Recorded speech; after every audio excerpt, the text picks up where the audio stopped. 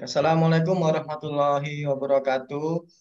Selamat siang. Salam Salam sejahtera untuk kita semua. Yang saya hormati eh, pimpinan jurusan PGSD FIP UNESA, yang saya hormati Ketua Pelaksana MPKM eh, PGSD FIP UNESA, yang saya hormati undangan para narasumber, kemudian dari adik-adik mahasiswa, alumni, pelaku usaha. Alhamdulillah hari ini kita telah bisa hadir di sini dalam acara workshop peningkatan soft skill mahasiswa sebagai rangkaian dari program MBKM Indonesia. Eh, perkenalkan saya Hendrik, di sini saya selaku pembawa acara. Sebelum kita memulai acara, kita akan sampaikan dulu susunan acara pada hari ini. Acara akan dimulai dari pembukaan, kemudian dilanjutkan mendengarkan lagu kebangsaan Indonesia Raya dan dilanjutkan dengan Mas FIP. Kemudian berikutnya adalah sambutan dan laporan dari Ketua Pelaksana MPKM. Selanjutnya adalah pembukaan acara secara resmi yang akan disampaikan oleh pimpinan jurusan PGSD FIP Indonesia dan kemudian akan dilanjutkan penayangan profil dari uh, sponsor atau calon mitra dari MPKM BGSI FIB Indonesia dan selanjutnya akan ada sesi fokus group discussion atau FGD dan diakhiri dengan penutup. Baik Bapak Ibu, uh, untuk mengawali acara, mari kita buka acara ini dengan ucapan basmalah. Bismillahirrahmanirrahim. Bismillahirrahmanirrahim. Baik, berikutnya kita akan mendengarkan lagu kebangsaan Indonesia Raya. Untuk saudara operator disilahkan.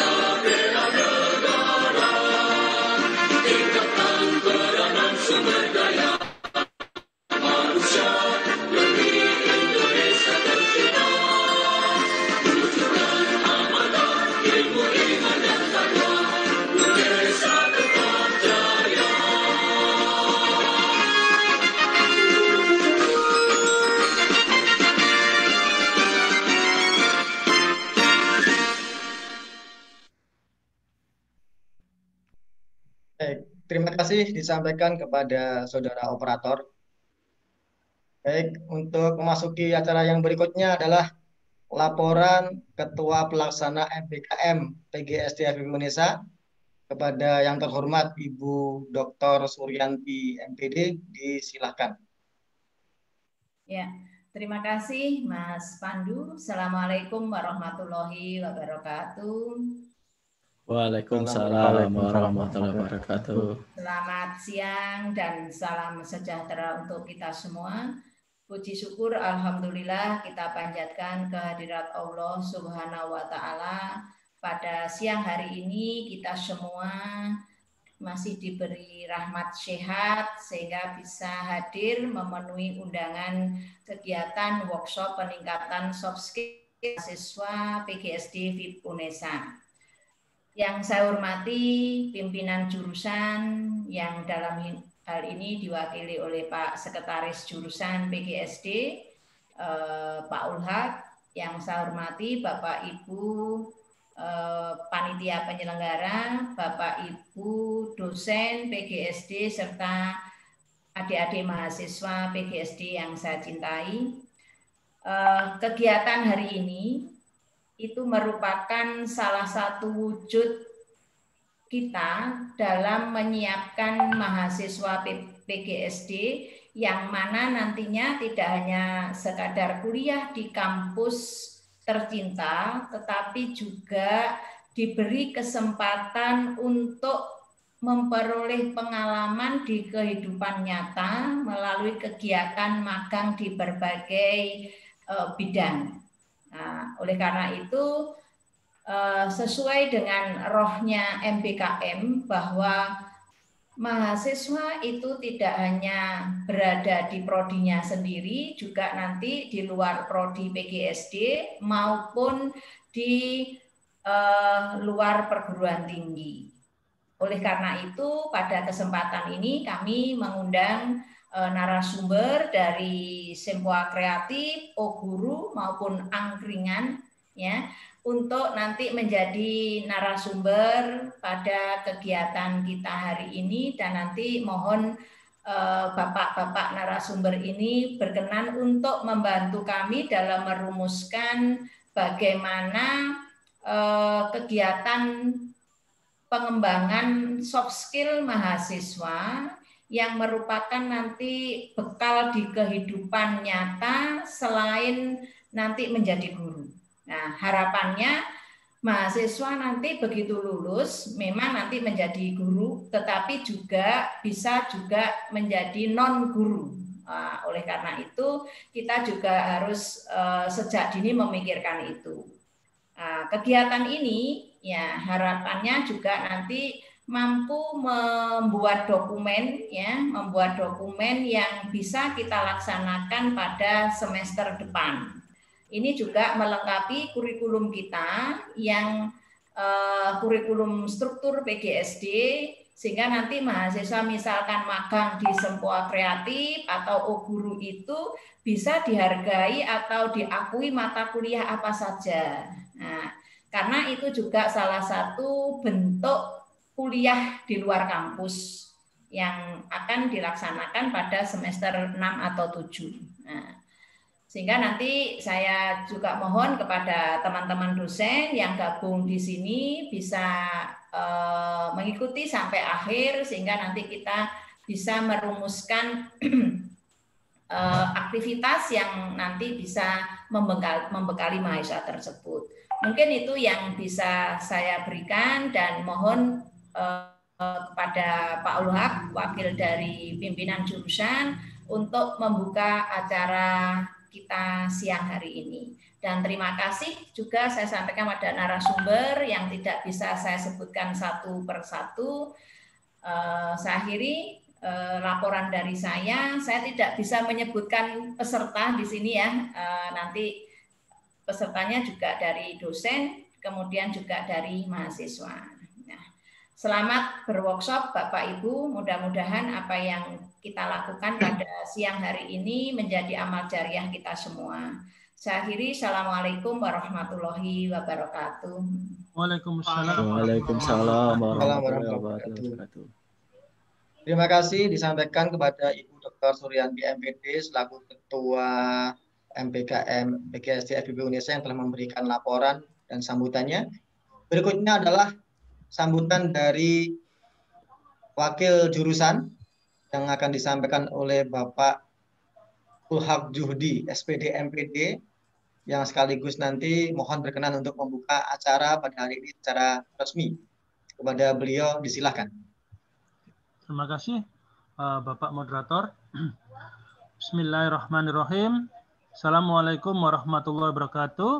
Waalaikumsalam warahmatullahi Alhamdulillah atas uh, segala puji bagi Allah. atas nikmatnya lah kita bisa berkumpul di workshop peningkatan soft skill mahasiswa ini.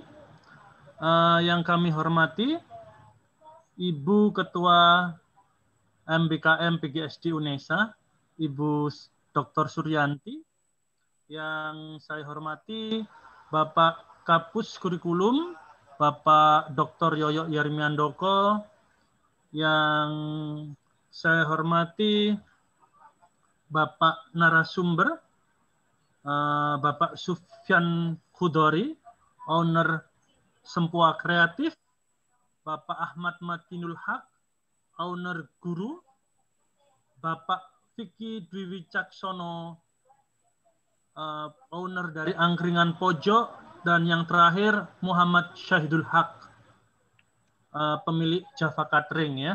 Uh, banyak sekali, saya senang sekali namanya berakhiran hak seperti nama saya. Uh, menindaklanjuti dari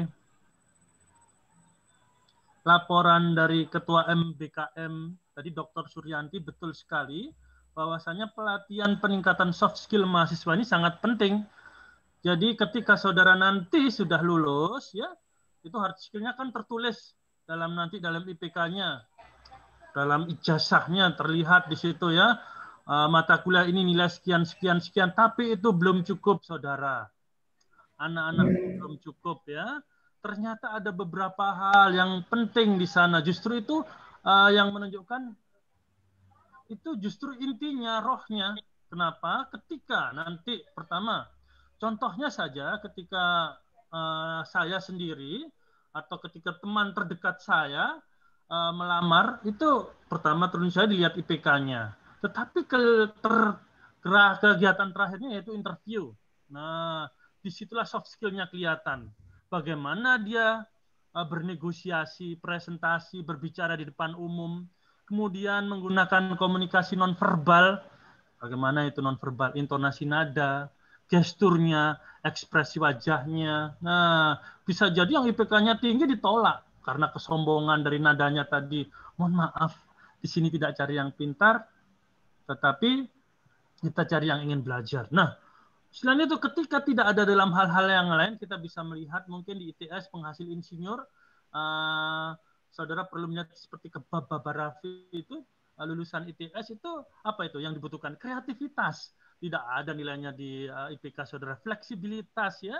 Di sini adalah yang namanya berpikir kritis, keinginan uh, ketingginya rasa ingin tahu, pola pikir logis, kemampuan memecahkan masalah, ya kepemimpinan, pengambilan keputusan, perilaku yang perilaku yang baik, kepercayaan diri, ya, kejujuran, ya.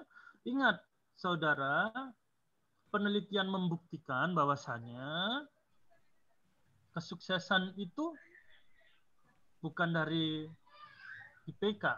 Ini penelitian ya. Ternyata dari karakter, eh, bukan dari EQ tapi EQ dari karakternya seseorang. Nah, ini anak-anakku ya Uh, saudara bersyukur, uh, saudara mempunyai narasumber yang hebat di sini, Bapak Ibu dosen yang sudah menjadi role model, ya. Saya harapkan nanti ini semua bisa dimanfaatkan sebaik-baiknya. Dan ini yang diundang ini terpilih karena saudara sudah luar biasa ya terpilih uh, lolos proposal PMW-nya. Okay. Uh, demikian uh, yang bisa saya berikan dalam pembukaan ini. Eh, dengan seizin panitia dengan ucapan Bismillahirrahmanirrahim maka workshop peningkatan soft skill mahasiswa ini dibuka tok tok tok Silakan. Nggak ada mic-nya, Bu. Nanti ini monitor saya rusak kalau saya ketuk gini. Iya. iya. iya terima, terima, kasih. terima kasih Pak Ulhak Yudi yang telah memberikan pengantar sekaligus membuka acara secara resmi yang menandakan bahwa acara workshop peningkatan soft skill mahasiswa program MBKM BGSD FIB Indonesia ini telah resmi dibuka. Baik, cara berikutnya adalah kita akan melakukan FGD, fokus group discussion dengan para pemateri yang nantinya akan dimoderatori oleh Mas Pandu. Uh, sambil menunggu beliau mempersiapkan diri, kita akan tayangkan dulu profil dari uh, calon mitra PGSD Indonesia kepada Mas Pandu nanti setelah ini langsung diambil saja. Baik.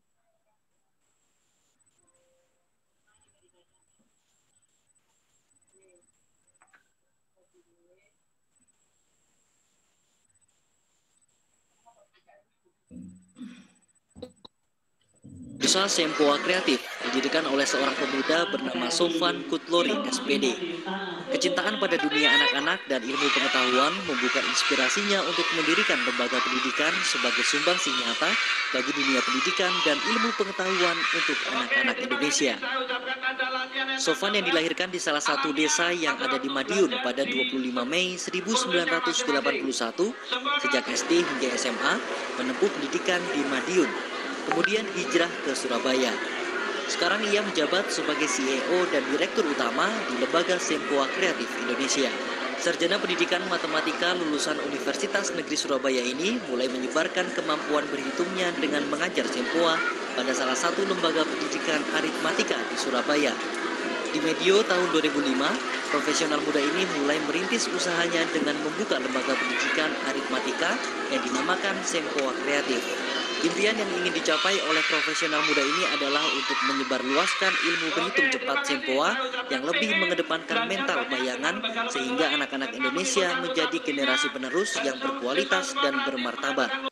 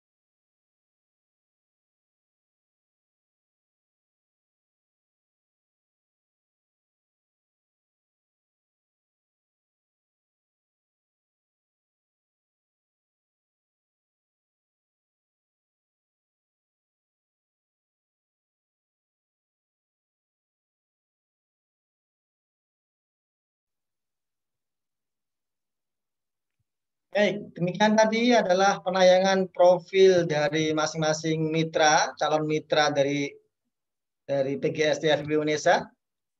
Berikutnya, saya ucapkan terima kasih kepada Mas Hendrik yang telah memberi kesempatan saya untuk bisa memoderatori acara pada hari ini. Uh, selamat siang semuanya. Mohon izin.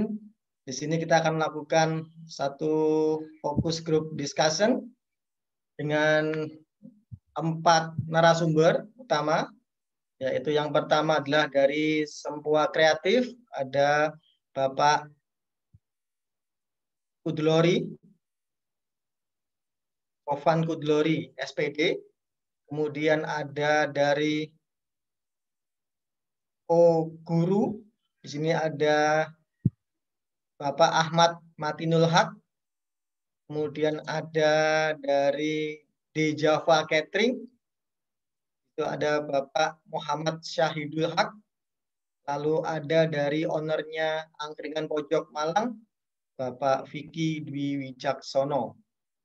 Baik, tapi sebelum kita ke narasumber dari calon mitra, saya undang dulu pemateri pertama kita dari perwakilan penggagas acara dari PGSD FB UNESA, dari tim MBKM, MBKM PGSD UNESA, yang akan dibawakan oleh Bapak Vicky Dwi Wijaksono. Selamat siang, Pak Vicky. Ya, selamat siang, Pak Pandu. Bagaimana Oke. kabarnya? Alhamdulillah, luar biasa ini. Baik, Pak Vicky, ah. uh, waktu saya beri kesempatan mungkin 15 menit untuk memaparkan program MBKM terutama peningkatan soft skill mahasiswa ini yang akan memberikan gambaran secara utuh kepada calon mitra dan juga mahasiswa yang mungkin hadir di kesempatan hari ini untuk bisa mengetahui gambaran umumnya seperti apa. Silakan Pak Vicky.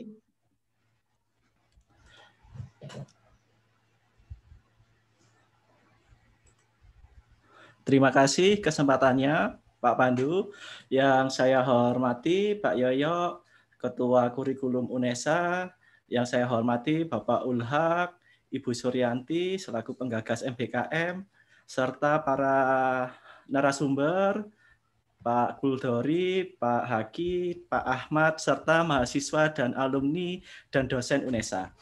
Sebenarnya pada program yang kita lakukan hari ini yaitu adalah peningkatan soft skill yang sesungguhnya ini adalah rentetan kegiatan paling terakhir karena di dalam kurikulum 2020 PGSD UNESA akan merubah atau menambahkan profil lulusan sehingga memiliki kompetensi sesuai dengan abad sekarang. Kenapa muncul peningkatan soft skill? Ini latar belakangnya karena ada yang namanya program Merdeka Belajar Kampus Merdeka.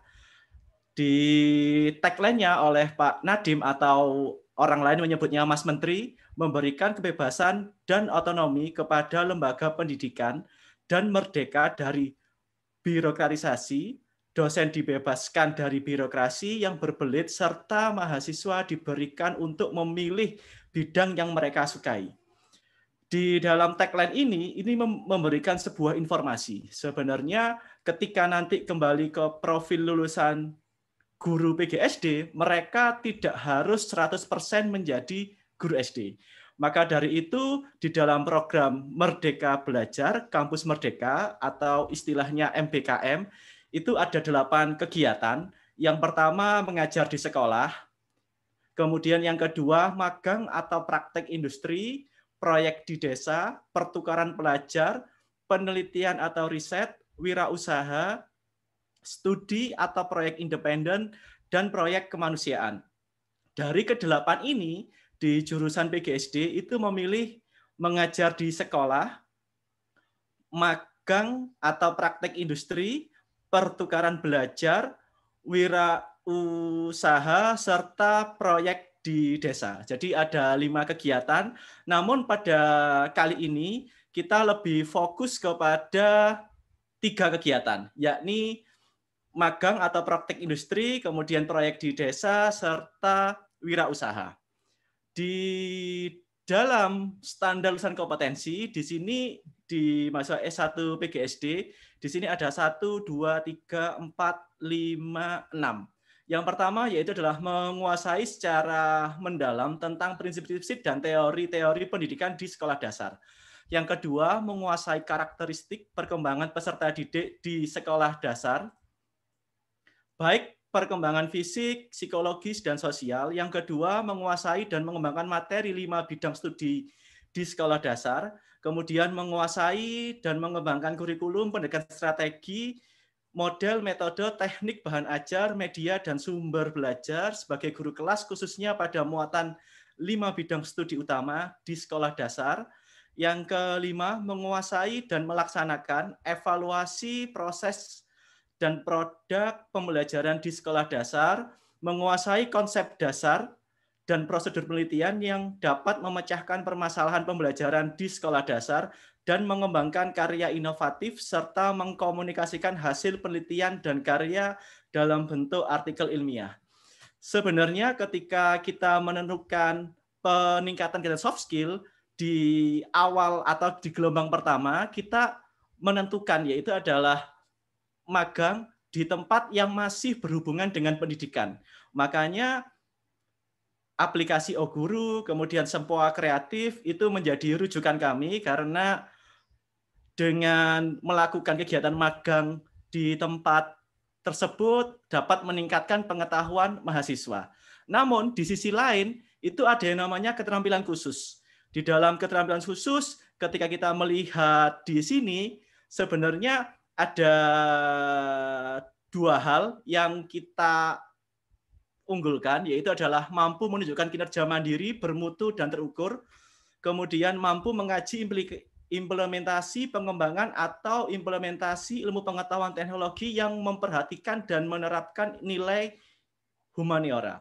Makanya ketika kita memilih beberapa tempat magang, berikutnya ada alternatif yaitu adalah kegiatan wirausaha meskipun di sini di wirausaha itu ada beberapa narasumber yang tidak berhubungan secara langsung dengan pendidikan, akan tetapi tetap kita pilih karena memang isi dari atau perintah MBKM yaitu adalah memberikan alternatif kepada mahasiswa gitu kan ya. Sehingga di dalam kegiatan ini kita menetapkan ada dua yaitu adalah magang dan kegiatan wirausaha. Akan tetapi untuk kegiatan KKN akan dibahas di workshop yang lainnya. Di dalam kegiatan wirausaha nanti pelaksanaannya yaitu adalah dapat dilakukan secara mandiri atau berkelompok oleh mahasiswa di dalam dan luar kampus untuk mengembangkan usahanya.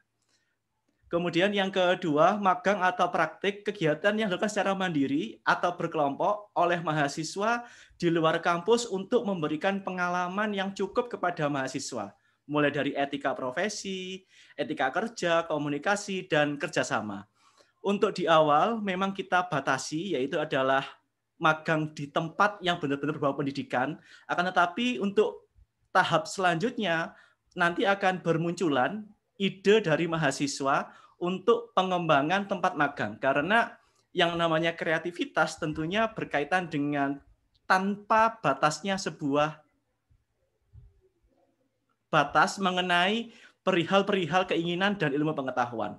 Berikutnya KKN, kegiatan yang dilakukan secara berkelompok oleh mahasiswa di luar kampus untuk memberikan pengalaman belajar kepada mahasiswa untuk hidup di tengah masyarakat secara langsung mengidentifikasi potensi dan menangani masalah sehingga mampu mengembangkan potensi di desa atau daerah karena sekarang lagi musimnya yaitu adalah seperti program hibah desa atau mungkin di daerah perkotaan yang berkaitan dengan kemiskinan, kemudian kekerasan dan segala macam.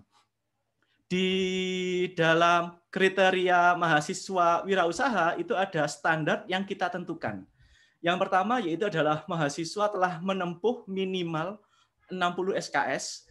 Kemudian yang kedua memiliki minat wirausaha. Yang ketiga memiliki mentor. Yang keempat memiliki rancangan bisnis gitu kan ya. Pada tahap ini ini agak berbeda dengan program KWU tiga tahun yang lalu. Mungkin Bapak Kuldori pernah menjadi narasumber gitu kan ya. Yang itu terbatas oleh dua SKS. kali ini kegiatan wirausaha itu sebanyak 20 SKS. Jika dirasa mahasiswa itu berpotensi, bisa diperpanjang mencapai 40 SKS. Jadi mereka bisa meninggalkan di kampus selama dua semester, itu maksimal. Tapi minimalnya satu semester.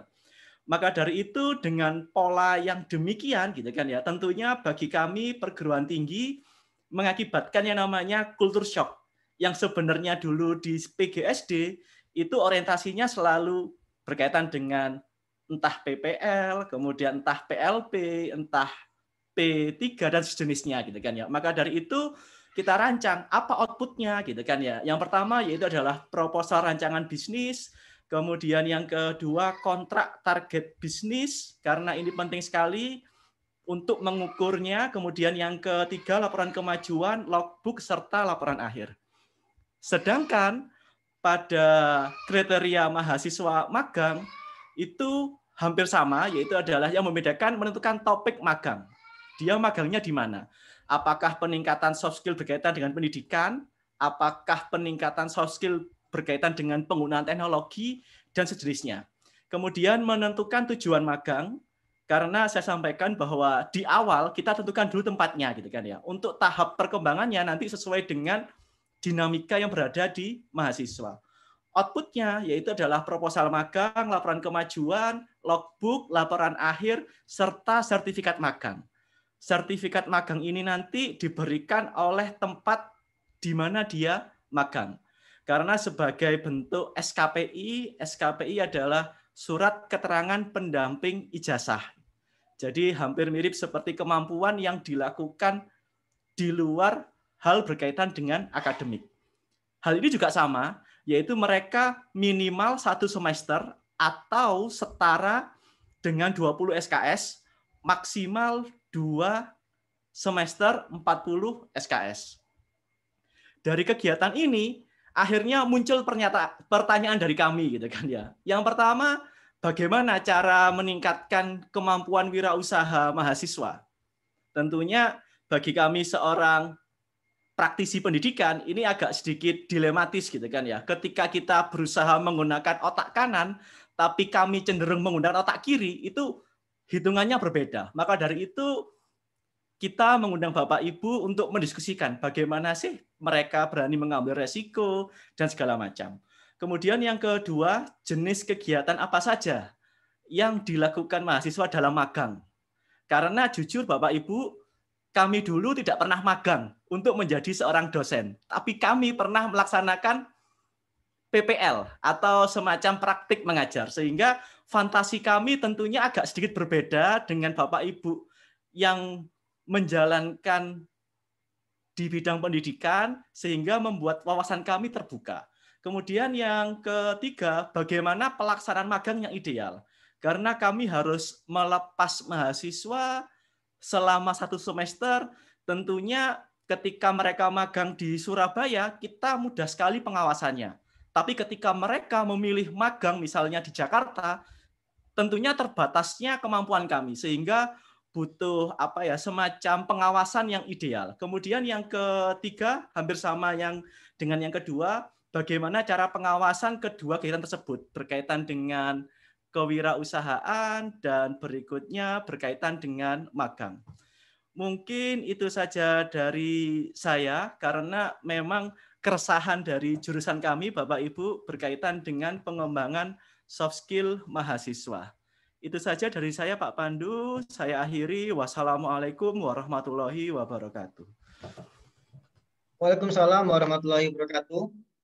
Terima kasih Pak Vicky yang sudah menyampaikan uh, tentang gambaran umum program ini yang kemudian diakhiri dari uh, diakhiri dengan empat pertanyaan yang nantinya empat pertanyaan inilah yang yang nantinya akan dijawab oleh calon mitra sehubungan dengan bagaimana praktik magang di bidang kerjanya masing-masing.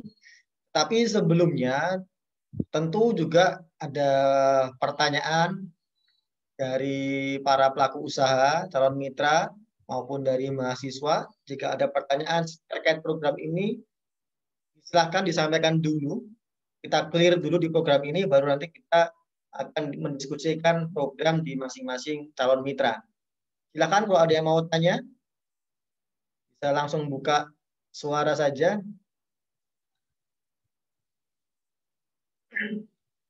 Ada yang mau bertanya terkait program ini yang mungkin masih bingung? Boleh dari calon mitra yang bertanya. Mute. Ya. Oke, monggo.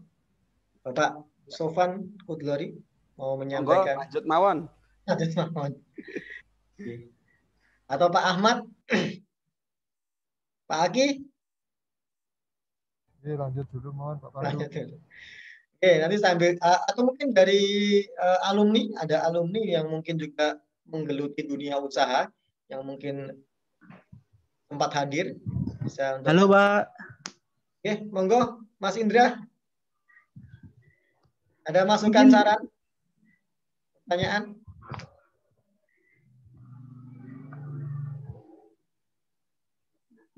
Mungkin Bapak pemateri dulu aja Pak yang menyampaikan nanti saya biar menambahi saja. Ini bos percetakan Pak Pandu. keren keren keren. Hey. Sa saya Pak Pandu. Oke, monggo Pak Yoyo. Uh, baik, terima kasih Bapak Ibu. Jadi terima kasih untuk para eh, rekan-rekan uh, yang nanti akan memberikan materi. Uh, jadi ini sesuatu yang berbeda dengan apa yang sudah pernah kita ajarkan di PGSD. Dan persis seperti yang dikatakan Pak Vicky tadi, ini nanti akan sekitar 14 mungkin ya, 14 sampai 16. Karena yang 4 SKS nanti itu akan mungkin diisi dengan KKN. Nah, eh, Bapak Ibu, rekan-rekan dosen yang di PGSD, mungkin pada saat nanti paparan kita juga meraba-raba kira-kira 14 sampai 16 SKS itu nanti bisa kita pecah menjadi beberapa mata kuliah yang relevan dengan topik di masing-masing uh, pemateri itu. Sehingga nanti mahasiswa itu kan tidak satu mata kuliah bobotnya 14 atau 16 SKS itu akan terpecah. Misalnya marketing atau apa uh, dan lain sebagainya. Makanya itu yang perlu kita uh, apa uh, analisis bersama ketika ada paparan materi sehingga nanti kita bisa menemukan kira-kira 14 sampai 16 mata kuliah apa yang relevan yang bisa kita uh, berikan ke mahasiswa ketika dia ikut di misalnya di uh, apa itu namanya di Simpoa atau di angkringan pojok Nah, itu nanti muncul nama-nama mata kuliah yang bisa kita masukkan relevan dengan uh, topik yang mereka lakukan itu. Terima kasih Pak Pandu. Oke, terima kasih Pak Yoyo atas masukannya. Dan program ini nanti memang uh, eh, SKS itu tidak kemudian bulat ya bulat kita telan 14 sampai 16 SKS langsung ke satu lokasi usaha tidak Nanti kita akan bagi juga di beberapa mata kuliah sesuai dengan pembobotan masing-masing seperti itu lagi gambarnya seperti itu. Baik, masih ada lagi sebelum kita ke narasumber berikutnya dari pelaku usaha. Ada ya, jika memang tidak ada, kita akan menuju ke narasumber yang pertama. Saya perkenalkan di sini ada owner dari Sempoa Kreatif, ya. Bapak Sofan Kudlori, SPD. Beliau uh, adalah profesional muda yang mengawali karirnya ketika masih duduk di bangku kuliah. Kecintaan dunia anak-anak dan ilmu pengetahuan membuka inspirasinya untuk mendirikan lembaga pendidikan sebagai sumbangsih nyata bagi dunia pendidikan dan ilmu pengetahuan untuk anak-anak Indonesia. Nah, beliau ini dilahirkan di salah satu desa yang ada di Madiun, ini dirahasiakan desanya apa? Pada 25 Mei 1981, sejak SD hingga SMA menempuh pendidikan di Madiun, lalu kemudian hijrah ke Surabaya. Beliau adalah sarjana pendidikan matematika, lulusan dari UNESA juga, jadi alumni UNESA, luar biasa dari matematika, yang mulai menyebarkan kemampuan berhitung sesuai uh, dengan mengajar sempoa pada salah satu lembaga pendidikan aritmatika waktu itu di Surabaya. Kemudian di Madiun tahun 2005 profesional muda ini kemudian mulai merintis usahanya dengan membuka lembaga pendidikan matematika yang dinamakan Sempua Kreatif, disingkat SK. Ini sama dengan nama beliau, Sofan Kudulori juga SK. Jadi sama begitu. Dan impian ini yang ingin dicapai adalah untuk menyebarluaskan ilmu berhitung tepat atau Sempua yang lebih mengedepankan mental bayangan sehingga anak-anak Indonesia ini menjadi generasi penerus yang berkualitas dan bermanfaat. Oleh karena itu, mari kita sambut pemateri pertama kita, Bapak Sofan Kudlori, SPD. Selamat siang, Bapak Sofan Kudlori. Selamat siang, Mas Pandu. Assalamualaikum warahmatullahi wabarakatuh. Waalaikumsalam warahmatullahi wabarakatuh. Kita ketemu lagi nih, Mas Sofan. Alhamdulillah, langganan ya, akhirnya kita. Terima kasih, Mas Pandu. Kemarin kemarin itu waktu Jenengan sudah memberi acara motivasi program program KWI itu sebenarnya mahasiswa banyak yang terinspirasi dan juga pengen lebih gitu. Tapi karena waktu itu programnya hanya hanya untuk magang saja, jadi nggak sempat kita tidak lanjuti. Nah sekarang inilah akhirnya kita terinspirasi uh, juga, akhirnya kita mengundang sebuah kreatif untuk menjadi bagian dari program ini. Uh, Mas Sofan atau Kak Sofan, panggilan akrabnya di SK mungkin ya Kak, Kak Sofan ya? Ya. Setelah tadi mendengar uh, pemaparan dari narasumber pertama Pak Vicky, monggo keempat pertanyaan tadi itu kira-kira kalau di sebuah kreatif itu akan bisa kita uh, wujudkan seperti apa? Monggo untuk mempresentasikan kurang lebih 10 sampai 15 menit. Mas Sofan, monggo. Assalamualaikum warahmatullahi wabarakatuh. Asyhadu an la ilaha illallah wa asyhadu anna Muhammadar Rasulullah. Allahumma shalli ala sayyidina Muhammad wa ala ali sayyidina Muhammad. Alhamdulillahirabbil alamin. Terima kasih kepada Bapak Ibu dosen UNESA dan tidak bisa saya sebut satu persatu mungkin karena nggak begitu hafal saya masih belum kenal. Terima kasih semuanya. Yang kenal saja Pak, yang kenal saja. yang kenal ini sekarang Mas Pandu, salam hormat untuk Mas Hendri, Pak Hendri yang mungkin lagi izin.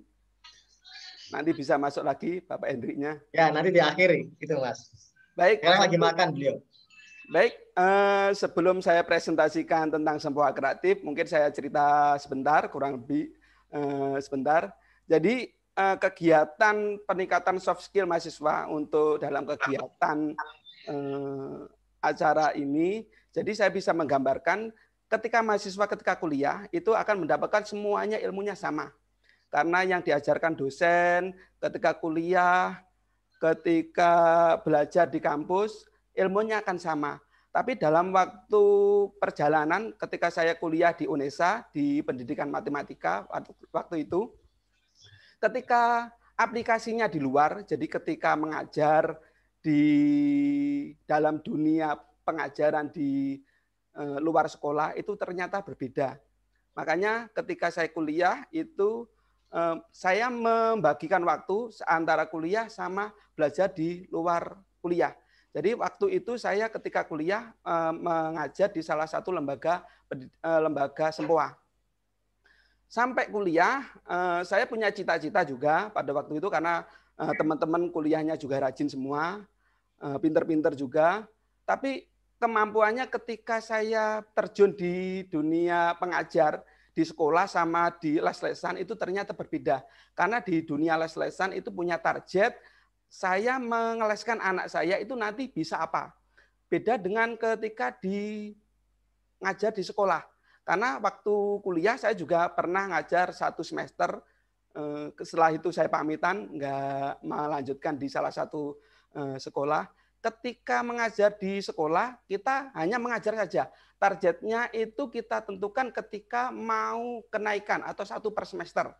Tapi ketika di luar sekolah, kita ke les-lesan, salah satu les yang saya ajar itu eh, mengajar sempoa, kita punya target. Anak sebelum belajar sempoa itu kemampuan berhitungnya itu berapa, eh, satu menit itu, eh, lima menit itu bisa ngerjakan berapa. Tapi ketika lulus kuliah, lulus les itu peningkatannya seberapa, itu akan kelihatan sekali. Jadi yang saya ceritakan di sini ada mahasiswa-mahasiswa dari PGSD, ini bisa Eh, saya eh, share atau pengalaman dari saya sendiri.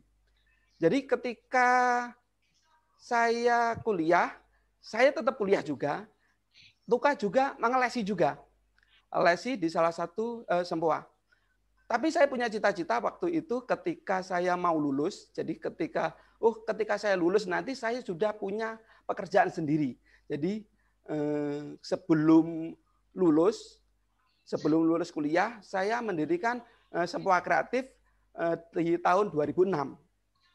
Akhirnya setelah eh, Sempoa Kreatif berkembang, berkembang, berkembang, berkembang, akhirnya saya luluskan eh, kuliah saya. Jadi ketika saya lulus, saya sudah eh, marem, sudah bangga karena saya, saya sendiri sudah punya usaha yang mempunyai beberapa cabang. Setelah itu, eh, setelah lulus, saya punya cita-cita yang sudah disampaikan Mas Pandu tadi, eh, mengajarkan sempoa di seluruh Indonesia. Dan Alhamdulillah sekarang ini tahun 2020 kurang lebih 15 eh, tahunan. Alhamdulillah sekarang sempoa kreatif sudah ada beberapa di Indonesia. Yang paling jauh itu saya pernah di Aceh, Aceh, kemudian di Medan, kemudian di Riau, kemudian di Lampung, Jakarta, dan yang Jakarta insya Allah ini masih eh, nunggu situasi aman, kita akan ke Jakarta. Dan yang terakhir tahun kemarin itu, yang paling jauh ke barat itu ke Aceh, dan yang terakhir eh, eh, perjalanan saya paling jauh itu ke timur, itu ke Dubu. Dubu itu Maluku. Kalau dilihat di peta mungkin nggak akan kelihatan, baru diketik Dubu mungkin akan muncul. Ada pulau kecil di bawahnya Irian Jaya. Jadi itu eh, sekilas pengalaman saya ketika kuliah. Jadi mumpung adik-adik mahasiswa sekarang ini masih kuliah, jadi adik-adik mahasiswa ini bisa mencari pengalaman yang luar biasa di selain di kampus. Kalau di kampus kita ketemu dosen, ketemu eh, kuliah di kampus, itu pengalamannya akan sama. Jadi adik-adik mahasiswa bisa belajar di luar, di luar eh, kampus. Jadi punya nanti ketika lulus kuliah karena di luarnya ketika kita lulus itu pengalaman yang eh, ditanyakan itu bukan kuliah di berapa, SIP berapa yang disebutkan Mas Vicky tadi, tapi yang ketika lulus kuliah di, eh, di dunia usaha, di dunia les-lesan ataupun di dunia sekolah, mau masuk ke dunia sekolah, mau mengajar jadi guru ataupun dosen, nanti akan dilihat kemampuannya, kemampuan mengajarnya juga.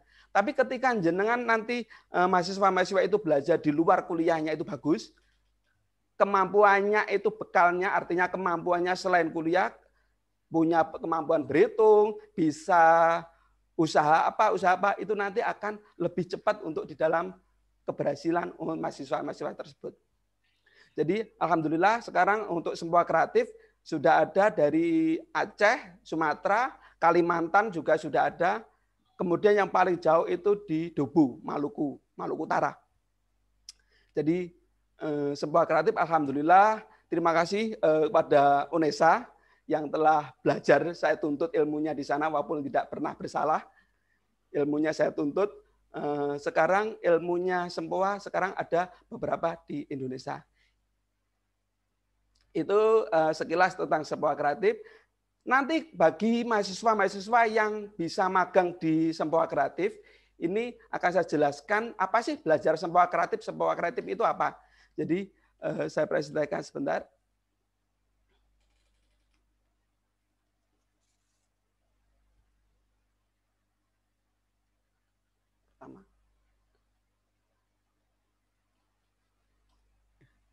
Oke, baik. Sempoa kreatif adalah teknik berhitung cepat. Jadi yang apa sih sempoa kreatif itu? Yaitu sempoa kreatif adalah teknik berhitung cepat menggunakan sempoa tanpa alat bantu. Jadi siswa itu nanti akan belajar dengan cepat tambah kurang kali bagi. Sekilasnya saya tampilkan apa sih yang dipelajari nanti mahasiswa ketika belajar sempoa kreatif itu bisa berhitung cepat. Jadi kalau dulu itu orang tua kita sendiri, Bapak Ibu dosen mungkin waktu SD belajarnya itu kan dua tambah dua itu kita hitung. satu dua tiga empat. Empat bisa. Dua tambah tiga seperti ini. Satu dua tiga empat lima. Ini nanti akan menjadi masalah ketika lima tambah tujuh. Limanya seperti ini tujuhnya nggak cukup. Oh ternyata guru PGSD guru matematika dulu dulu agak pinter.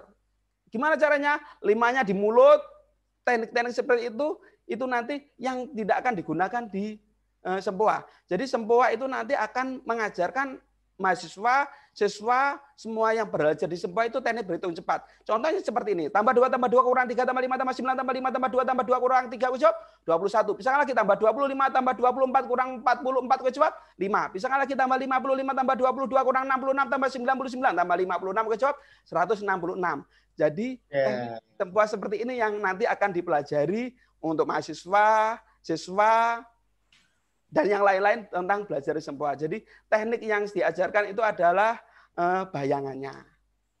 Kemudian untuk keunggulan-keunggulan Sempoa kreatif dengan lembaga-lembaga yang lain, uh, di Sempoa kreatif kita hanya empat level saja.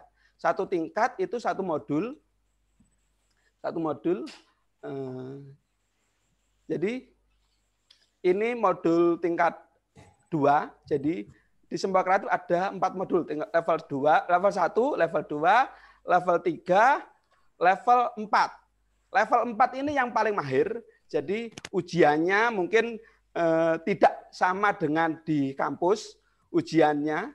Jadi ujian di tingkat 4 ini kemampuannya, jadi rahasianya di tingkat 4 itu ujiannya guru guru itu harus mengalahkan saya sendiri atau tentor-tentor yang sudah kita tentukan dari uh, Sempoa Kreatif.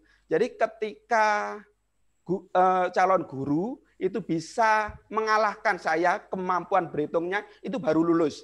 Tapi kalau masih belum bisa mengalahkan kemampuan saya, artinya ketika saya ngasih tambah 22 tambah 55 kurang 66 tambah 99 tambah 55 kurang 65 kejawab 100, belum bisa seperti itu, belum lulus. Dan yang menguji bukan saya yang mengasih soal, tapi mahasiswa atau calon guru yang memberi soal. Itu nanti akan di, kita berikan di materi tingkat 4. Kenapa kok tingkat 4? Jadi eh, di lembaga saya atau di luar sempoa itu eh, tingkatnya itu ada sampai 10 sampai berapa level. Tapi di tingkat eh, sempoa kreatif hanya 4 level saja. Jadi sempoanya seperti itu. Nanti di metode pengajarannya, metode pengajarannya itu eh, semi privat. Jadi kemampuan belajarnya itu tidak sama. Artinya tidak sama seperti ini.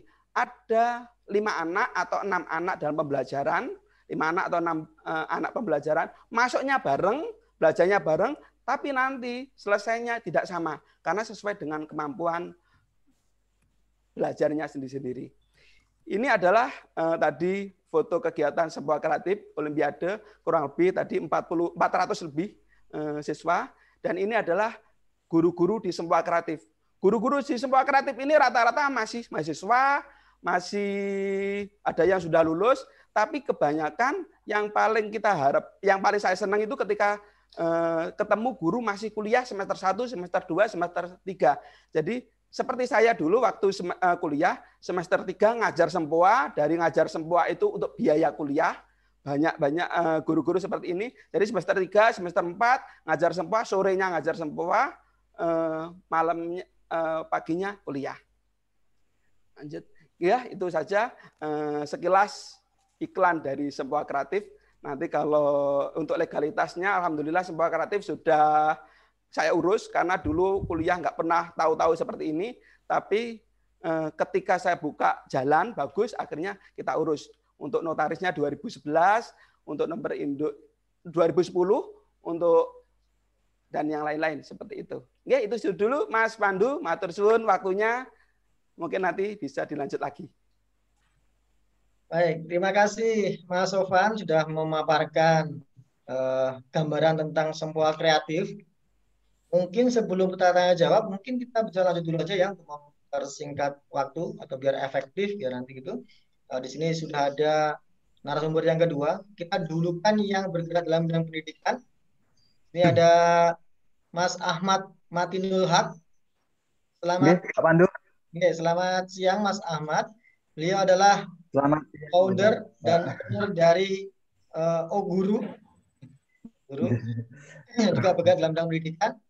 Mas Ahmad mungkin bisa memaparkan uh, profil dari Oguru seperti apa dan nanti kira-kira kalau mahasiswa magang di Oguru itu akan seperti apa sih kira-kira kegiatannya? Monggo Mas Ahmad 10 sampai 15 menit ya. Oke, baik.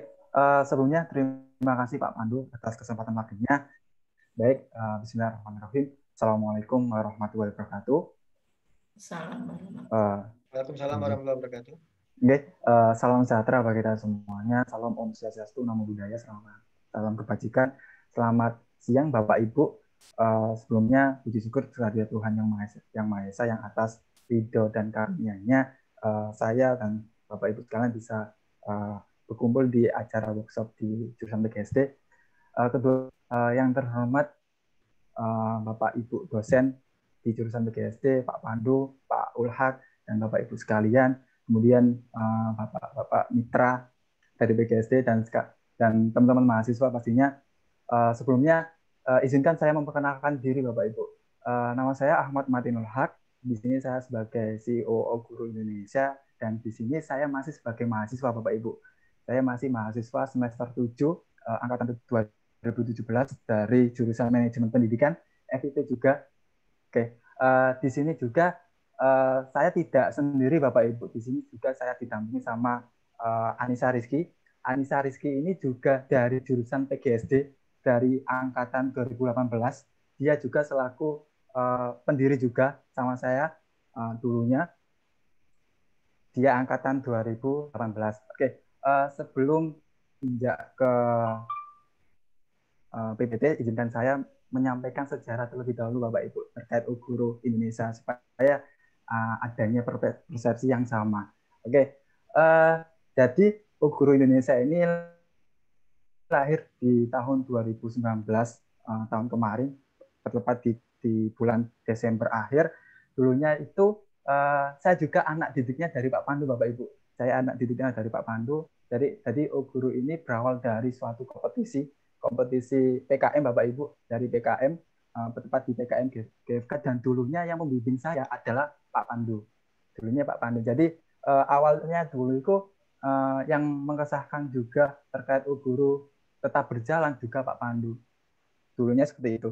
Kemudian uh, setelah gurunya waktu, guru semakin berkembang dan juga bukan hanya saya sama Ica saja Bu yang uh, menjalankan guru jadi dan juga teman-teman juga yang juga menjalankan guru Indonesia.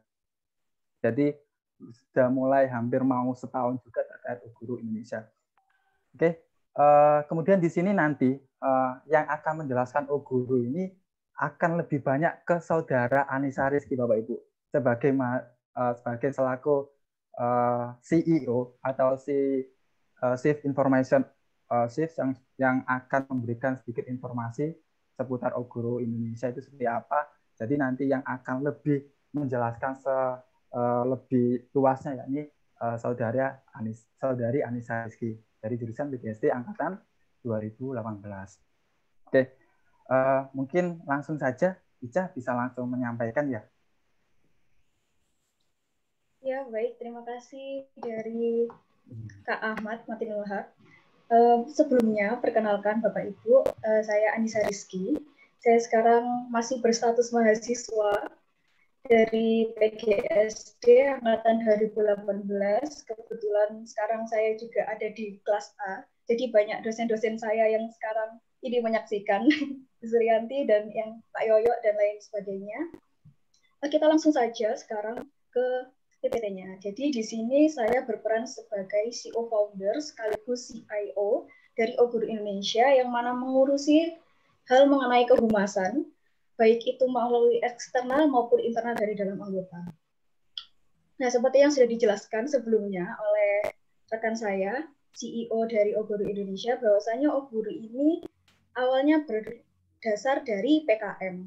Sebenarnya kita tetap berlanjut ke beberapa perlombaan seperti yang ada di UM, lalu juga ada beberapa perlombaan yang lainnya yang dilakukan oleh Kemenristek Dikti dan lainnya. Namun memang rezeki kita kali ini ada di KBMI, yaitu kompetisi bisnis mahasiswa Indonesia. Dan saat ini juga program itu masih berjalan. Nah, ini adalah latar belakang awal kenapa kita ingin adanya perbaikan di bidang pendidikan dan membuat Oguru. Tapi sebenarnya ada satu hal yang ini juga berkaitan dengan teman-teman dari PGSD. Jadi karena saya sekarang di PGSD, ini sifatnya sharing sharing ya. Uh, Jadi untuk mahasiswa PGSD itu sebenarnya banyak mahasiswa yang mumpuni dalam kompetensinya untuk mengajar. Namun terkadang itu kurangnya lapangan pekerjaan itu menjadikan mereka ini susah untuk mengimplementasikan apa yang mereka dapat di perkuliahan ke masyarakat luas. Dan itu juga akhirnya membuat kita untuk membuat suatu ide atau kreativitas bagaimana caranya kita menghubungkan guru dengan siswa dalam satu waktu. Jadi waktu itu kita memang berpikiran bagaimana kalau misalkan kita membuat aplikasi yang mana itu nantinya menghubungkan guru dan siswa. Jadi sifatnya itu seperti les privat. Jadi guru dipanggil ke rumah siswa. Itu yang akan menjadi perencanaan tahun kita setelahnya. Nah, karena memang untuk membuat suatu mobile application itu memiliki istilahnya waktu dan juga biaya yang besar, akhirnya kita mencoba untuk merubah sedikit menjadi ke website. Jadi basisnya kita sekarang sudah kita laksanakan yaitu berbasis website. Nah ini adalah latar belakang dari kita.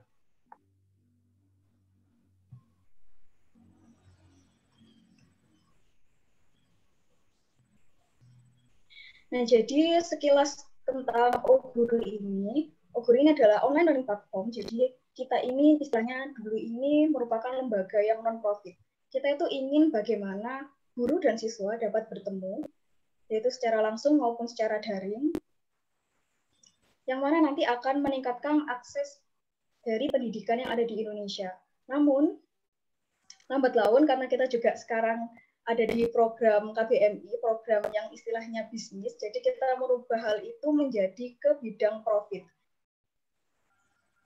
Nah, dalam bidang ini kita juga istilahnya mendapat beberapa masukan maupun istilahnya saran dari beberapa orang di sekitar kami. Dan juga ini adalah salah satu alasan mengapa Oh Guru Indonesia ini sangat dibutuhkan untuk di masa sekarang karena pendidikan setiap tahun ini akan selalu meningkat, terutama pada siswa dan juga lulusan pendidikan. Oleh karena itu, kita ingin bagaimana kualitas itu dapat terus terjaga dan juga bagaimana pemerataan akses itu tetap, tetap terus terjadi. Nah, ini daya tarik kami. Sekarang kami juga memiliki banyak sekali media sosial yang ada. Jadi untuk di Instagram sendiri kita ada lebih dari 5.200 followers, lalu lebih dari 10 mitra guru, lalu juga ada lebih dari 100 user yang ada di website kita. Nah, ini merupakan produk dari Oguru Indonesia. Jadi, ada tiga basis produk yang kita laksanakan, yang sudah kita laksanakan. Jadi, ada kelas online, ada webinar, ini masuknya ke vokasional. Jadi, vokasional ini adalah beberapa bidang yang ada di luar bidang akademik. Contohnya misalkan seperti seni, lalu ada bahasa asing, lalu juga ada editing, fotografi, itu masuk ke vokasional. Jadi lebih menekankan kepada keterampilan dan soft skill. Lalu ada kelas online yang ini itu khusus untuk akademik, jadi nanti teman-teman PGSD maupun Bapak Ibu dosen yang ingin bergabung bersama kami juga bisa melalui kelas akademik ini. Jadi di sini adalah formal, akademik formal dari SD sampai SMA maupun juga ada ujian akademik. Contohnya misalkan SBMPTN yang sudah kita laksanakan tryout-nya kemarin dari Oguru. Lalu juga ada CPNS dan lain sebagainya. Lalu di sini ada OVD. Nah, OVD ini adalah video pembelajaran interaktif dari kami, yang mana ini juga terintegrasi dengan VR nantinya, teknologi VR. Jadi nanti para pengguna dari Oguru ini tidak hanya tidak hanya live streaming atau tidak hanya bertemu dengan guru melalui online saja, tapi mereka juga dapat menggunakan video ini sebagai bahan latihan dan review mereka. Kurang lebih seperti itu. Dan sekarang untuk website dari Oguru ini adalah tampilannya. Untuk sekarang kita masih di maintenance karena ada satu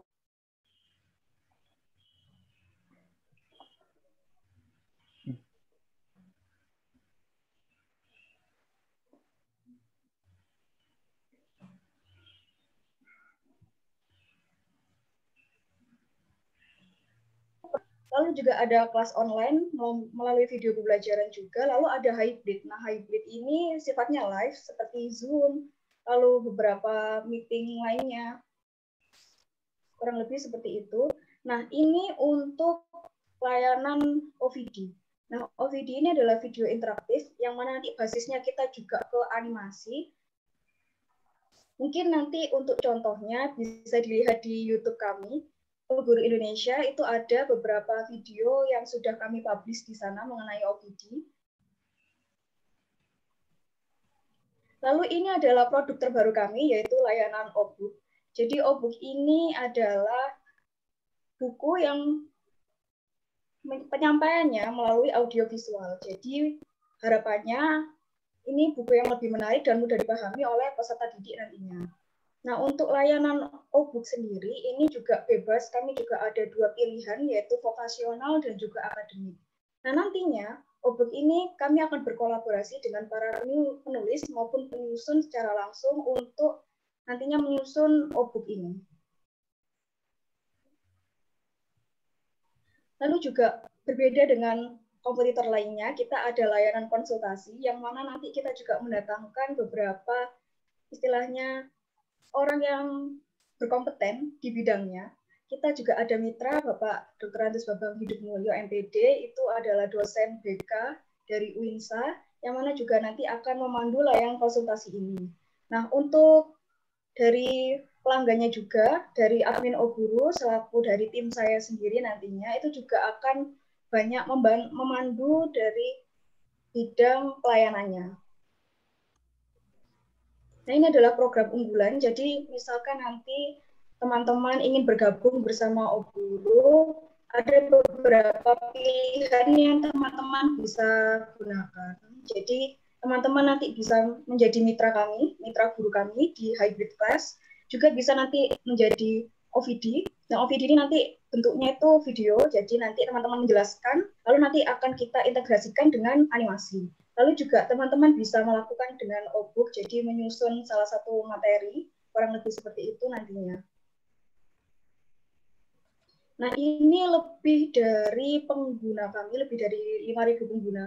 Ini merupakan kelas-kelas online kami maupun ada yang webinar dan ada tryout juga, kurang lebih seperti ini. Dan juga sebenarnya ada lebih dari yang ada di gambar ini, namun di sini hanya bisa kita perlihatkan sekian dari program kami. Nah, ini kami menawarkan 80% pendapatan untuk mitra-mitra kami nantinya, terutama mitra guru. Jadi memang karena lembaga kita ini adalah lembaga profit, jadi kita memang ada standarisasi sendiri untuk yang untuk gaji dan untuk sistem bagi hasilnya. Nah, ini juga perbandingannya dengan pesaing yang lain. Jadi, Oguru Indonesia memiliki situs web resmi, lalu juga ada beberapa produk yang tidak dimiliki oleh pesaing kami, seperti webinar, lalu juga ada hybrid class, lalu ada layanan konsultasi, lalu ada e-book, lalu ada modul pembelajaran, ada evaluasi hasil belajar atau quiz kalau kami di Oguru menyebutkan, lalu ada akses grup belajar untuk member Oguru sendiri. Dan ini juga sifatnya gratis ketika mereka sudah mendaftar. Lalu ada kolaborasi dari guru pakar keilmuan, lembaga, dan komunitas. Nah, untuk legalitasnya, Oguru sudah mendapatkan hak cipta dan produk. Juga sekarang sedang proses untuk hak merek dan dagang. Nah, ini adalah mitra kolaborasi kami yang kebetulan juga ada dari Redcom PGSD yang kemarin eventnya juga berkolaborasi dengan kami. Nah, ini adalah tim kami. Jadi ada sebenarnya ada tiga, tiga komponen utama, yaitu ada komponen dari segi pendidikan, dari kehumasan, dan juga dari tim pengembang IT kami. Lalu kami akan memecah menjadi beberapa bagian seperti yang sudah ditampilkan di sini. Jadi ada CEO kami sendiri, Kak Ahmad Matinul Haq, ada saya CIO selaku kehumasan dari Oguru, lalu ada COO yang ini istilahnya mereka ini di bidang pendidikannya. Lalu ada tim pengembang kami lima orang ada di bawah dari Kak Salsabila sampai Kak Sulis itu adalah tim pengembang kami yang nanti membuat produk digital dari kami. Nah, ini adalah kontak pesannya kami. Jadi untuk info lebih lanjut dan juga pertanyaan bisa teman-teman dan Bapak Ibu dosen kirimkan kalau misalkan ada ke beberapa kontak yang ada di bawah ini. Dan juga untuk info-info terbaru bisa nanti dilihat di Instagram kami Guru Indonesia. Nah, kurang lebihnya mohon maaf, eh, itu dari Guru Indonesia. Oke, uh, ter terima kasih Ica, Saudara Ica, yang sudah menyampaikan seputar uh, singkatnya terkait Guru Indonesia. Jadi itu tadi penyampaian Ibu dari Bapak Ibu dari uh, mahasiswa PGSD juga yang sangat luar biasa selaku pendiri juga dari Guru Indonesia. Mungkin uh, nanti kalau ada uh, yang ingin ditanyakan, monggo bisa dipertanyakan. Mungkin itu yang bisa kami sampaikan dari Guru Indonesia. Uh, kurang lebihnya mohon maaf. Assalamualaikum warahmatullahi wabarakatuh. Waalaikumsalam warahmatullahi wabarakatuh. Terima kasih Mas Ahmad, Mbak Anissa yang telah memaparkan program Guru. Bisa di stop share screen-nya dulu, Mas Ahmad. Uh, Mbak Anissa, stop share screen biar kita bisa tampil semua.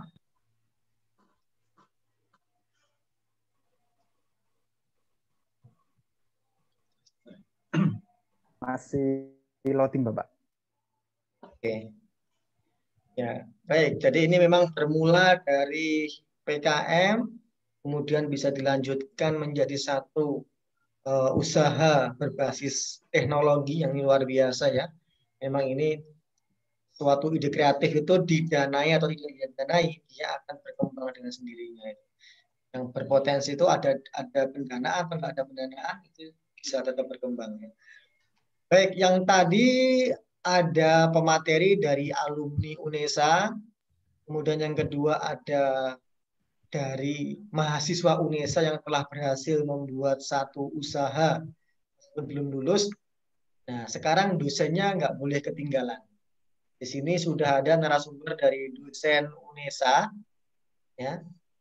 Beliau adalah Muhammad Sahidul Haq yang lebih dikenal dengan sebutan Pak Haki.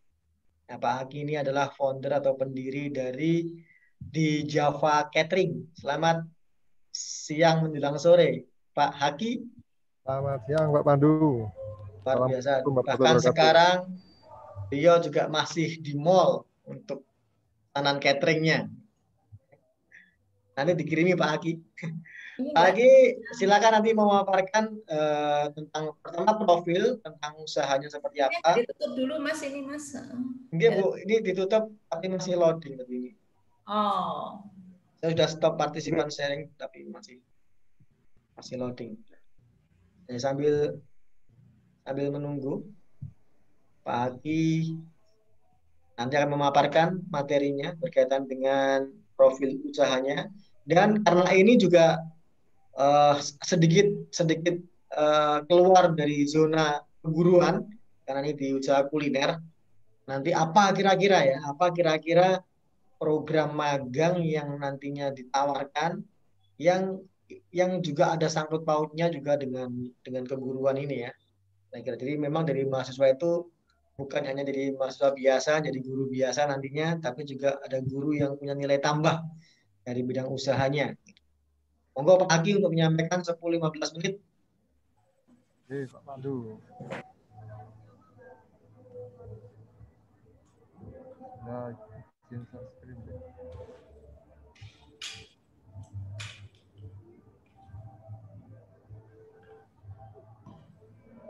Baik, Assalamualaikum warahmatullahi wabarakatuh.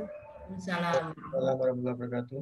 Yang saya hormati Bapak Ibu dosen jurusan PGSD Fakultas Pendidikan Indonesia. Yang saya hormati eh, mitra eh, jurusan PGSD Indonesia serta adik-adik mahasiswa wirausaha eh, di PGSD Indonesia.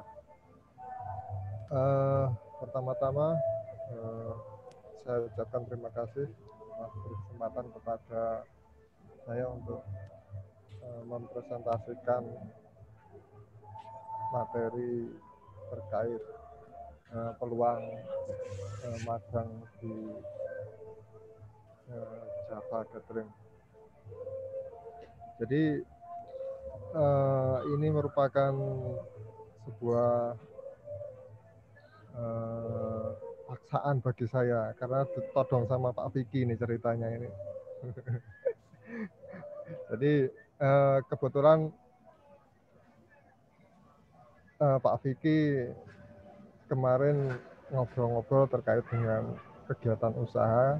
Nah, kebetulan di tempat kami uh, ada mahasiswa yang magang di tempat kami, mahasiswa UNESA juga, uh, jurusan PKK, tentunya hubungannya dengan makanan. Nah, sebelum uh, saya mulai uh, ke arah uh, magang, uh, saya perkenalkan dulu produk kita itu seperti apa, brand kita itu seperti apa. Uh, jadi kalau uh, Bapak Ibu Mitra yang lain tadi menyampaikan sejarahnya seperti apa, eh, bisa eh, mendapatkan prestasi-prestasi yang luar biasa itu seperti apa. Nah, seperti halnya Java Catering, eh, itu merupakan sebuah brand yang kita miliki, namun sebenarnya di situ ada rumahnya, rumahnya yang atau legalitasnya itu CV Fata Media. Hanya seperti itu. Jadi di dalam rumah itu masih ada kamar-kamarnya lagi. Nah, pada tahun 2018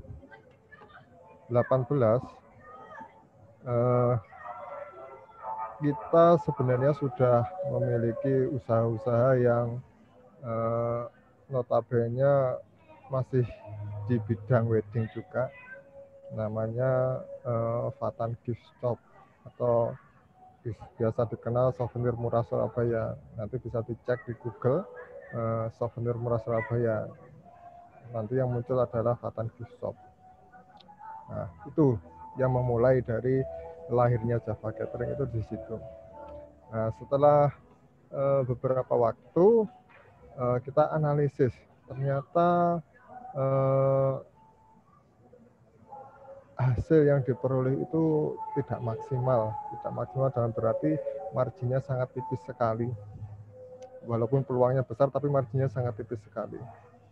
Nah, kita mencoba untuk uh, bergeser atau mengembangkan sayap di bidang kuliner. Yaitu lahirlah uh, Java Catering ini pada bulan Agustus 2018. 2018 kita mulai uh, istilahnya nyusun planningnya seperti apa. Nah dari situ kita sudah membuka uh, apa namanya tes pasar dulu, tes pasar melalui uh, web yang telah kita susun dulu. Tes pasar webnya sudah launching tapi manajemennya belum siap. Eh, banyak sekali yang menghubungi tapi kita belum siap. Saya sama Pak Fikri diketawain. Bikin usaha kok main-main seperti itu katanya kemarin itu. Nah, selanjutnya banyak sekali yang menghubungi eh, rata-rata eh, sehari itu satu sampai dua orang yang menghubungi eh, kontak person yang ada di web itu padahal kita belum ada apa-apanya alat saja belum punya pegawai belum punya, tukang masak juga belum punya, atau kokinya belum punya. Tapi web itu sudah running di mana-mana. Ceritanya seperti itu. Selanjutnya eh, sekitar awal 2019 eh, kita sudah mulai eh, dari analisis pasar itu kok eh, peminatnya banyak ya setiap hari kok ada yang menghubungi ya. Uh, tapi antara yakin dan nggak yakin ini mau dilanjutkan apa enggak.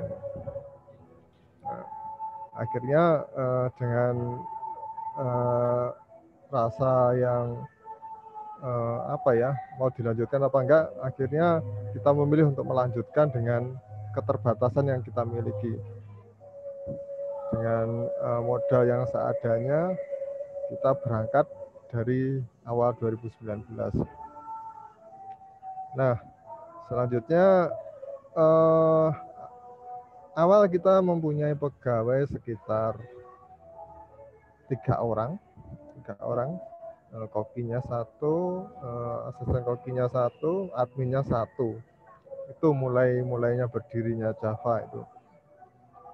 Nah, uh, secara rutinitas target pasar kita adalah eh, kantor dan wedding. Nah, dari situ eh, analisis pasarnya juga hampir di setiap bulan-bulan tertentu wedding di Surabaya itu banyak sekali. Dan eh, boleh dibilang eh, sekarang menjadi kebutuhan hampir setiap hari ada orang nikah. Tapi eh, catering yang ada di Surabaya itu masih beberapa dalam arti beberapa yang eh, notabene terkenal. Kalau skala UMKM masih banyak. Nah, dari situ merupakan peluang bagi kita untuk mengembangkan Java itu sendiri. Eh, selanjutnya, setelah kita berjalan eh, kurang lebih sampai hari ini, pada awal 2020 kita mengembangkan dua dua brand lagi yang namanya Java Wedding dan Java Rent. Itu persewaan Arpesta dan Java Wedding. Java Wedding ini WO-nya. Jadi masih seputar seputar wedding aja di sini.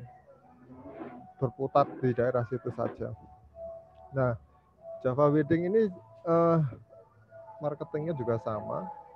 Boleh dibilang eh, kita nggak punya marketing ya, marketingnya melalui media sosial saja yang kita gunakan eh, karena pasar kita adalah pasar eh, boleh dibilang milenial ya yang mau nikah-nikah itu kan usia antara 17 sampai 25 itu kan usia-usia milenial dalam hal ini eh, setiap hari pegangannya HP setiap hari pegangannya sosial media lah dari situlah eh, digital marketing itu sangat uh, efektif menurut kami. Oke, ini sekilas video yang uh, event kita beberapa hari lalu sebagai gambaran kegiatan kami itu seperti ini.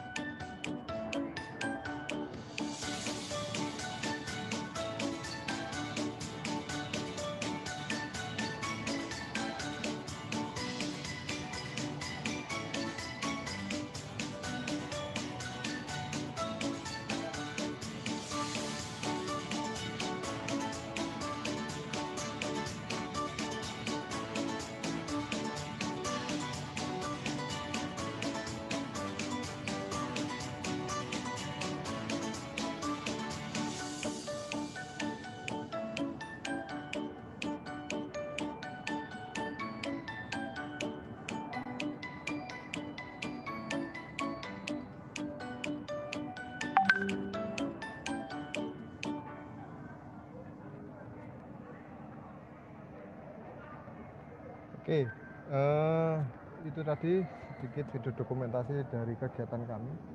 Uh, Bapak Ibu yang kami hormati, uh, serta teman-teman mahasiswa uh, Java Catering atau Fatan Media di sini mempunyai beberapa divisi.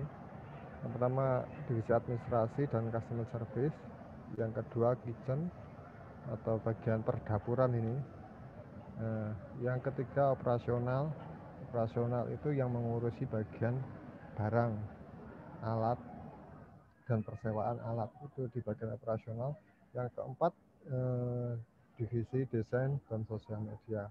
Nah, dari eh, empat divisi ini masing-masing mempunyai tugas dan eh, tanggung jawab yang berbeda-beda. Kalau administrasi hubungannya dengan eh, manajemen serta pelayanan kepada pelanggan. Eh, meliputi follow up kepada pelanggan, eh, terus eh, penawaran-penawaran kepada eh, mitra. Untuk kitchen hubungannya dengan menu masakan, eh, serta event-event apa, menunya apa. Nah, di sini bagiannya kitchen. Yang operasional bagian peralatan yang menyiapkan alat-alat atau ornamen yang digunakan untuk event, misalkan di gedung. Nah, ini yang menyiapkan bagian ini, bagian operasional. Yang, yang keempat, bagian desain dan sosial media yang berhubungan dengan promosi serta pembuatan-pembuatan media promo seperti halnya video yang telah kita tampilkan tadi sebelumnya.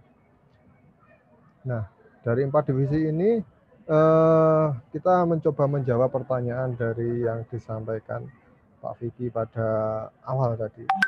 Jadi eh, di tempat kami ada beberapa yang eh, magang di tempat kami ini salah satunya dari PKK. PKK itu eh, Tata Boga, Fakta Teknik Indonesia juga yang magang di tempat kami. Eh, meliputi eh, kalau PKK hubungannya dengan eh, apa namanya eh, permasakan atau menu-menu yang ada di kami. Nanti akan diteliti, nanti akan dikembangkan oleh Eh, teman-teman yang magang di situ. Jadi justru eh, kami sering dapat masukan dari teman-teman yang magang di, di tempat kami karena secara secara teori mungkin kami lemah di sana, tapi eh, adik-adik mencoba eh, membantu kami terkait eh, apa namanya ada bahan-bahan apa yang bisa ditambahkan untuk mengembangkan menu ini. Misalkan Pak dikasih ini Pak supaya uh, lebih menarik, Pak dikasih ini Pak supaya lebih enak. Justru mereka yang paham daripada kita seperti itu. Ya bentuknya uh, ada juga pendampingan usaha. Uh, pendampingan usaha di sini ada beberapa teman kami atau saudara kami yang mencoba mengembangkan atau merintis sebuah usaha. Kami uh, di posisi ini mendampingi, mencoba untuk membantu uh, supaya usahanya tetap berjalan dan uh, bisa naik. Terus magang praktek industri. Nah, ini beberapa yang uh, menjawab pertanyaan yang disampaikan Pak Vicky pada sesi sebelumnya tadi. Nah, mungkin uh, materi yang dipelajari di kami antara lain uh, bagaimana cara nge-brand sebuah produk itu seperti apa, uh, yang mana uh, untuk boleh dibilang meningkatkan nama atau ngebrand itu dibilang sulit-sulit gampang. Bagaimana cara membuat nama yang baik itu seperti apa. Nah, itu nanti bisa dipelajari di tempat kami. Terus selanjutnya bagaimana cara menganalisis target pasar. Kalau di tempat kami kita mau di target pasar yang mana? Kalau di catering kami Eh, menengah ke atas itu bukan pasar bukan pasar kami. Mungkin sudah ada catering lain, misalkan catering ibu, catering sono kembang dan lain sebagainya, rim catering. Nah itu sudah pasar mereka. Kita nggak akan masuk ke tahap sana. Biar biar mereka yang mengolah di sana. Nah tapi target kita adalah menengah sama menengah ke bawah. Ini target kita karena harga kita eh, boleh dibilang eh, terjangkau bagi mereka.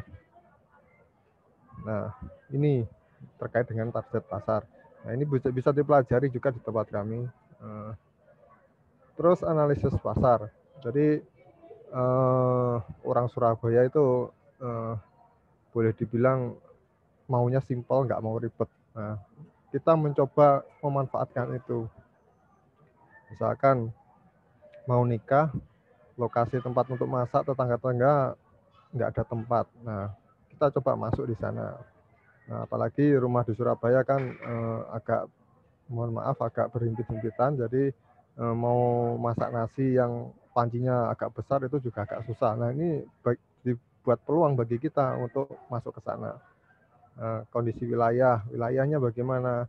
Kalau perumahan mungkin eh, mohon maaf juga perumahan biasanya iklim atau hubungan dengan tetangga juga mohon maaf nggak nggak begitu akrab. Jadi mau pinjam tempat pun juga eh, nggak enak juga. Nah, kita coba masuk di sana. Nah, permintaan masih banyak kompetitor juga perlu dipertimbangkan dalam analisis pasar ini. Nah, menentukan produk produk apa sih yang cocok untuk saya misalkan itu bisa dipelajari juga. Strategi marketing nah ini ini Pak Vicky kemarin yang uh, tertarik di sini.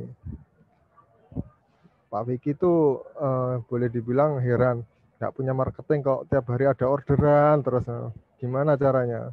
Ini katanya Pak Vicky rahasia perusahaan ini. Nah, nah nanti juga bisa dipelajari di sini. Tapi kan uh, kita kasih tahu, tapi belum tentu bisa menjalankan karena ada beberapa uh, trik atau tips khusus yang mungkin kalau disampaikan kurang kurang apa ya kurang jelas atau kurang bisa menerima karena bukan bidangnya di situ. Nah, tapi coba kita mencoba untuk menjelaskan bagi sedetail-detailnya bagaimana sih strategi marketing yang pas itu seperti apa. Melalui sosial media, Instagram, Facebook, Twitter, YouTube dan lain sebagainya itu. Terus soft skill apa sih yang harus dimiliki? Nah, misalnya komunikasi. Ini komunikasi ini sangat penting. Apalagi uh, usaha kita bidang jasa. Kita komunikasi antar uh, customer dan customer service itu harus bagus. Jangan sampai customer tanya-tanya dijawabnya jutek. Nah, jangan sampai seperti itu. Ini akan uh, mengurangi penilaian customer terhadap usaha kita. Terus lagi eh, apa namanya komunik balas WA-nya lama misalkan. Nah, itu bisa jadi eh, penilaian juga oh jelek seperti itu. Membangun sistem, nah, bagaimana sih membangun sistem mulai dari nol. Nah, mungkin bisa dipelajari juga mengolah keuangan. Nah, ini yang eh, tidak semua orang bisa eh, mengelola keuangan, termasuk saya sendiri juga terus terang saya juga bukan bidang saya di sini mengelola keuangan. Namun kita coba belajar juga di sini mencari formula yang tepat itu seperti apa. Seperti halnya membangun sistem ini, kami mencoba untuk uh, mencari formula-formula sistem yang pas itu seperti apa. Dalam hal ini apalagi uh, pada masa uh, sebelum pandemi, saat pandemi, sesudah pandemi ini Nah, sistemnya kita rubah-rubah terus, menyesuaikan dengan uh, kondisi yang ada. Dan ini kita harus bisa mengembangkan sistem itu sendiri. Kalau sudah di, dirasa tidak efektif, kita harus uh, mengganti sistemnya, mengganti sistem yang baru. Nah, dulu kita punya uh, tukang masak atau koki itu empat. Nah, setelah sebelum pandemi ada empat. Habis itu setelah masa pandemi tetap empat, tapi kita harus menggaji dengan uh, pemasukan yang nggak sebanyak sebelum pandemi itu. Nah, setelah itu saat pasca pandemi ini kita merubah sistemnya. Kita lepas, kita pakai freelance misalkan. Nah, pasti sistemnya akan berganti menyesuaikan dengan kondisi. Nah, disiplin waktu, manajemen waktu, sama disiplin marketing. Ini mungkin bisa agak dipercepat Pak Agi. Oke, itu Pak Pandu dari ya, sudah. Ya, sudah. Terima kasih. Rugi dong saya bilang tadi kayak gitu. Terima kasih Pak Aki sudah memaparkan dengan panjang lebar uh, profil usahanya dan kira-kira peluang bagi mahasiswa ketika nanti magang akan seperti apa gitu. Baik, sekarang pemateri yang terakhir ini juga dari dosen UNESA. Beliau adalah Pak Vicky Dwi Wicaksono. Ya, beliau adalah owner dan pendiri usaha dari warung angkringan pojok Malang. Ini juga bicara uh, di bisnis kuliner. Jadi Pak Vicky silakan untuk memaparkan sedikit profil usahanya dan kira-kira kalau mahasiswa PGSD magang di angkringan pojok akan seperti apa dan jangan lama-lama Pak Vicky cukup lima menit cukup lah Pak Vicky ini. Ye, Bandu. Enggak Pak Vicky silakan. Ye, Assalamualaikum warahmatullahi wabarakatuh. Waalaikumsalam warahmatullahi wabarakatuh. Ye, perkenalkan nama saya Vicky Dewi Caksono, saya owner angkringan pojok dan sini kopi. Sebelumnya saya mau mohon izin ya, bagaimana sih muncul sebuah angkringan pojok? Sebenarnya munculnya sebuah angkringan pojok ini tamparan keras dari semua kreatif sebenarnya. Karena saya ini adalah muridnya semua kreatif sebenarnya. Karena ketika saya dulu mengundang Pak Sofyan gitu kan ya, saya dulu tuh belum memiliki bisnis sama sekali gitu kan ya. Dan saya masih ingat dengan jelas tips untuk membuka bisnis yaitu adalah dengan cara menikah gitu kan ya. Makanya saya menikah dulu kemudian membuka pintu rezeki gitu kan ya. Rezeki apa yang saya peroleh?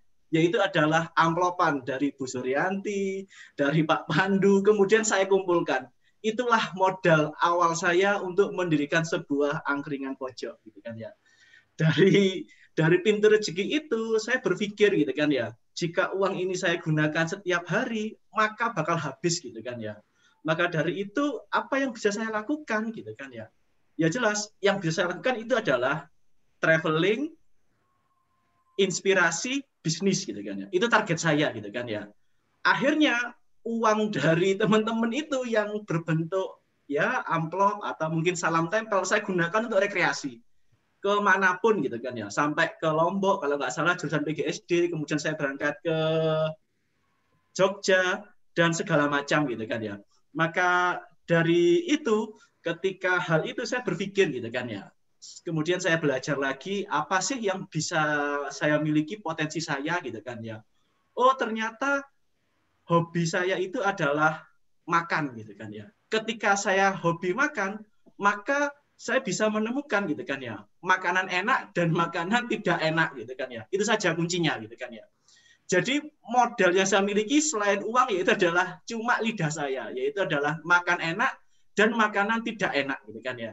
Dengan sedikit kenekatan mau tidak mau akhirnya saya harus melakukan sebuah improvisasi dengan mendirikan yang namanya brand angkringan pojok gitu kan ya. Kenapa brand ini saya pegang? Karena saya berpikir dengan embel-embel angkringan itu imajinasi atau fantasi seseorang itu pasti murah gitu kan ya. Padahal sebenarnya ini kafe tapi namanya angkringan pojok gitu kan ya. Hampir mirip saya belajar kepada warung abnormal gitu kan ya. Itu kafe tapi dinamakan warung abnormal gitu kan ya. Sehingga brand itu akan membawa imajinasi sebuah bisnis gitu kan ya. Dengan demikian akhirnya saya mendirikan sebuah bisnis angkringan pojok gitu kan ya. Dengan brand ini yang saya dirikan pada pada pada tahun 2017 yang di Kota Malang gitu kan ya dengan kapasitas yaitu adalah 200 orang gitu kan ya. Sehingga saya mengalami yang namanya kaget gitu kan ya. Kaget itu adalah ketika saya membuat angkringan pojok sudah tetapkan bahwa angkringan pojok ini marketingnya harus mulut ke mulut gitu kan ya sehingga saya membangun brand ini tidak mengiklankan sama sekali. Karena pada kala itu di 2017 banyak kafe-kafe yang berdiri menggunakan cara marketing digital dan segala macam sehingga kebanyakan orang itu mengunjungi foto kemudian selesai. Tapi dengan cara yang saya buat seperti ini, saya menciptakan ini tidak perlu di, di share di sebuah komunitas sosial dan segala macam karena kemampuan mahasiswa jika dia melakukan sebuah fotografi di situ, maka dia tidak akan mengunjungi lokasi saya lagi. Maka dari itu berdirilah sebuah angkringan pojok. Ketika pembukaan pertama kali respon positif, bulan kedua sudah kapasitasnya 200 orang itu tidak cukup, bulan ketiga sampai cari tempat duduk itu susah, akhirnya di 2017 akhir kita memutuskan untuk membuka lebih besar lagi dengan kapasitas 600 sampai 700 orang gitu kan. Akhirnya pada 2017 akhir kita membuat kapasitas lokasi kami semakin besar. Di tahun 2018 yang namanya bisnis gitu kan ya. Tentunya hampir mirip mohon maaf seperti seorang judi gitu kan ya. Jika berhasil pengen nambah lagi, pengen nambah lagi gitu kan ya. Akhirnya saya membuka lagi namanya brand warung bajak laut gitu kan ya.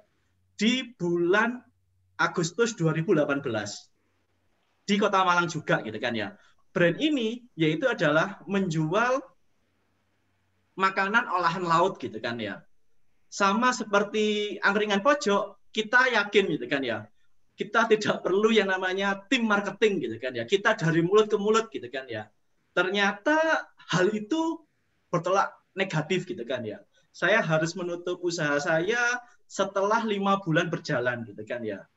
Akan tetapi ketika itu tutup, maka muncul lagi yang namanya sebuah ide, yaitu adalah membuat minuman kopi susu kekinian gitu kan ya kita bukalah sini kopi di Jember. Kalau di angkringan pojok ini kelasnya menengah ke bawah, tapi kalau sini kopi ini kalangannya menengah ke atas. Tapi belajar dari pengalaman yang warung bajak laut itu tadi, gitu kan ya, kita menggunakan konsultan, yaitu adalah konsultan digital marketing yang tugasnya yaitu adalah membranding dan segala macam. Karena motif saya untuk berbisnis itu semua modalnya nekat gitu kan ya.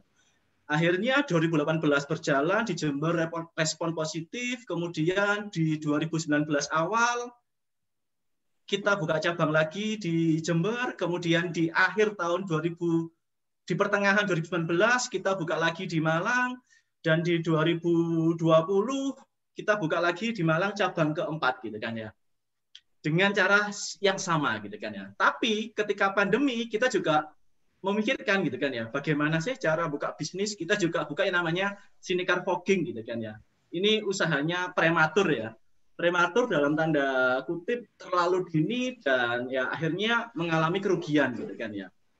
Dan akhirnya ya sudah kita tutup, kita proses lagi meskipun di tengah pandemi kita buat lagi bisnis Sini Kopi 3 yang masih proses izin di Pertamina karena kita menggunakan stand di stasiun pengisian bahan bakar gitu kan ya. Dari pengalaman inilah gitu kan ya, akhirnya membuat saya membuat sebuah program gitu kan ya. Di dalam kegiatan rutin angkringan itu selalu bersifat standar gitu kan ya. Stokis gudang, pelayanan, bagaimana sih cara melayani pembeli gitu kan ya kalau misalnya kasirnya cemberut, tentunya pembeli membuat ogah gitu kan ya. Bagaimana sih cara mengelola administrasi keuangan, bagaimana cara mengelola sumber daya manusia, bagaimana mengelola alat kita gitu kan ya. Karena pasar kita itu mahasiswa gitu kan ya. Mahasiswa itu kreatif sekali gitu kan ya. Gelas, sendok itu semua ya rajin dibawa pulang ke kosan karena mereka sadar gitu kan ya. Mereka butuh sendok sama gelas. Itu contoh nyata gitu kan ya.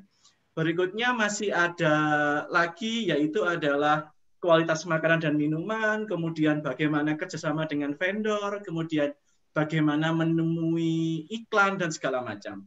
Pembelian barang, perawatan gedung, dan tempat bisnis gitu kan. Di slide berikutnya, kegiatan rutin sini kopi itu hampir mirip seperti angkringan pojok, cuma yang membedakan kita memiliki divisi marketing sendiri yang tugasnya yaitu adalah mencari pasar yang secara digital karena memang dari segi margin sini kopi itu lebih tinggi marginnya daripada angkringan pojok karena kita membidiknya itu adalah kalangan menengah ke atas gitu kan. Di dalam kesempatan ini tentunya ada beberapa best practice gitu kan ya. Dari semula saya dulu tidak bisa apa-apa gitu kan ya. Akhirnya saya mengenali gitu kan ya bahwa sebenarnya ketika kita bisnis itu adalah berorientasi kepada otak kanan. Kalau kita berpikir 100% otak kiri, maka mau melangkah itu agak sedikit ragu. Karena di dalam sebuah bisnis, meskipun yang ahli pun juga bisa tergelincir gitu kan ya. Maka dari itu ketika di dalam program MBKM di angkringan pojok itu sudah menawarkan beberapa kegiatan yaitu adalah berkaitan dengan wirausaha yaitu mentoring gitu kan ya yaitu adalah menyiapkan mentor untuk mahasiswa PGSD UNESA kemudian ada lagi yang namanya program benchmarking yaitu adalah mahasiswa bisa melakukan field trip ke angkringan pojok sebenarnya inspirasi bisnis itu tidak harus dengan bisnis yang sejenis gitu kan ya. Saya dulu masih ingat kiblat saya itu adalah Sempua Kreatif. Sempua Kreatif itu berorientasi kepada franchise ingat saya gitu kan ya. Dia mengembangkan sistem sebagus mungkin. Tapi kalau di tempat saya semua outlet itu saya yang mengelola. Sehingga perkembangannya memang agak sedikit lebih lambat. Itulah yang kelemahan dari kami. Makanya dengan adanya program ini mungkin kita bisa bersinergi, mungkin saya juga bisa berkunjung ke rumahnya Mas Sofyan atau berkunjung ke rumahnya Pak Ahmad dan segala macam. Berikutnya yaitu adalah sertifikat, yaitu adalah memberikan sertifikat magang. Sebelum ada kegiatan MBKM, di kami itu sudah sering menerima mahasiswa magang. Yang pertama yaitu adalah magang mahasiswa S1 Ilmu Komunikasi itu hasilnya video yang pertama tadi, angkringan pojok. Kemudian ada lagi mahasiswa S1 Ilmu Komunikasi UNED, itu video profil yang pertama tadi, yang sini kopi itu mahasiswa semua. Masih ada lagi mahasiswa di bidang transportasi.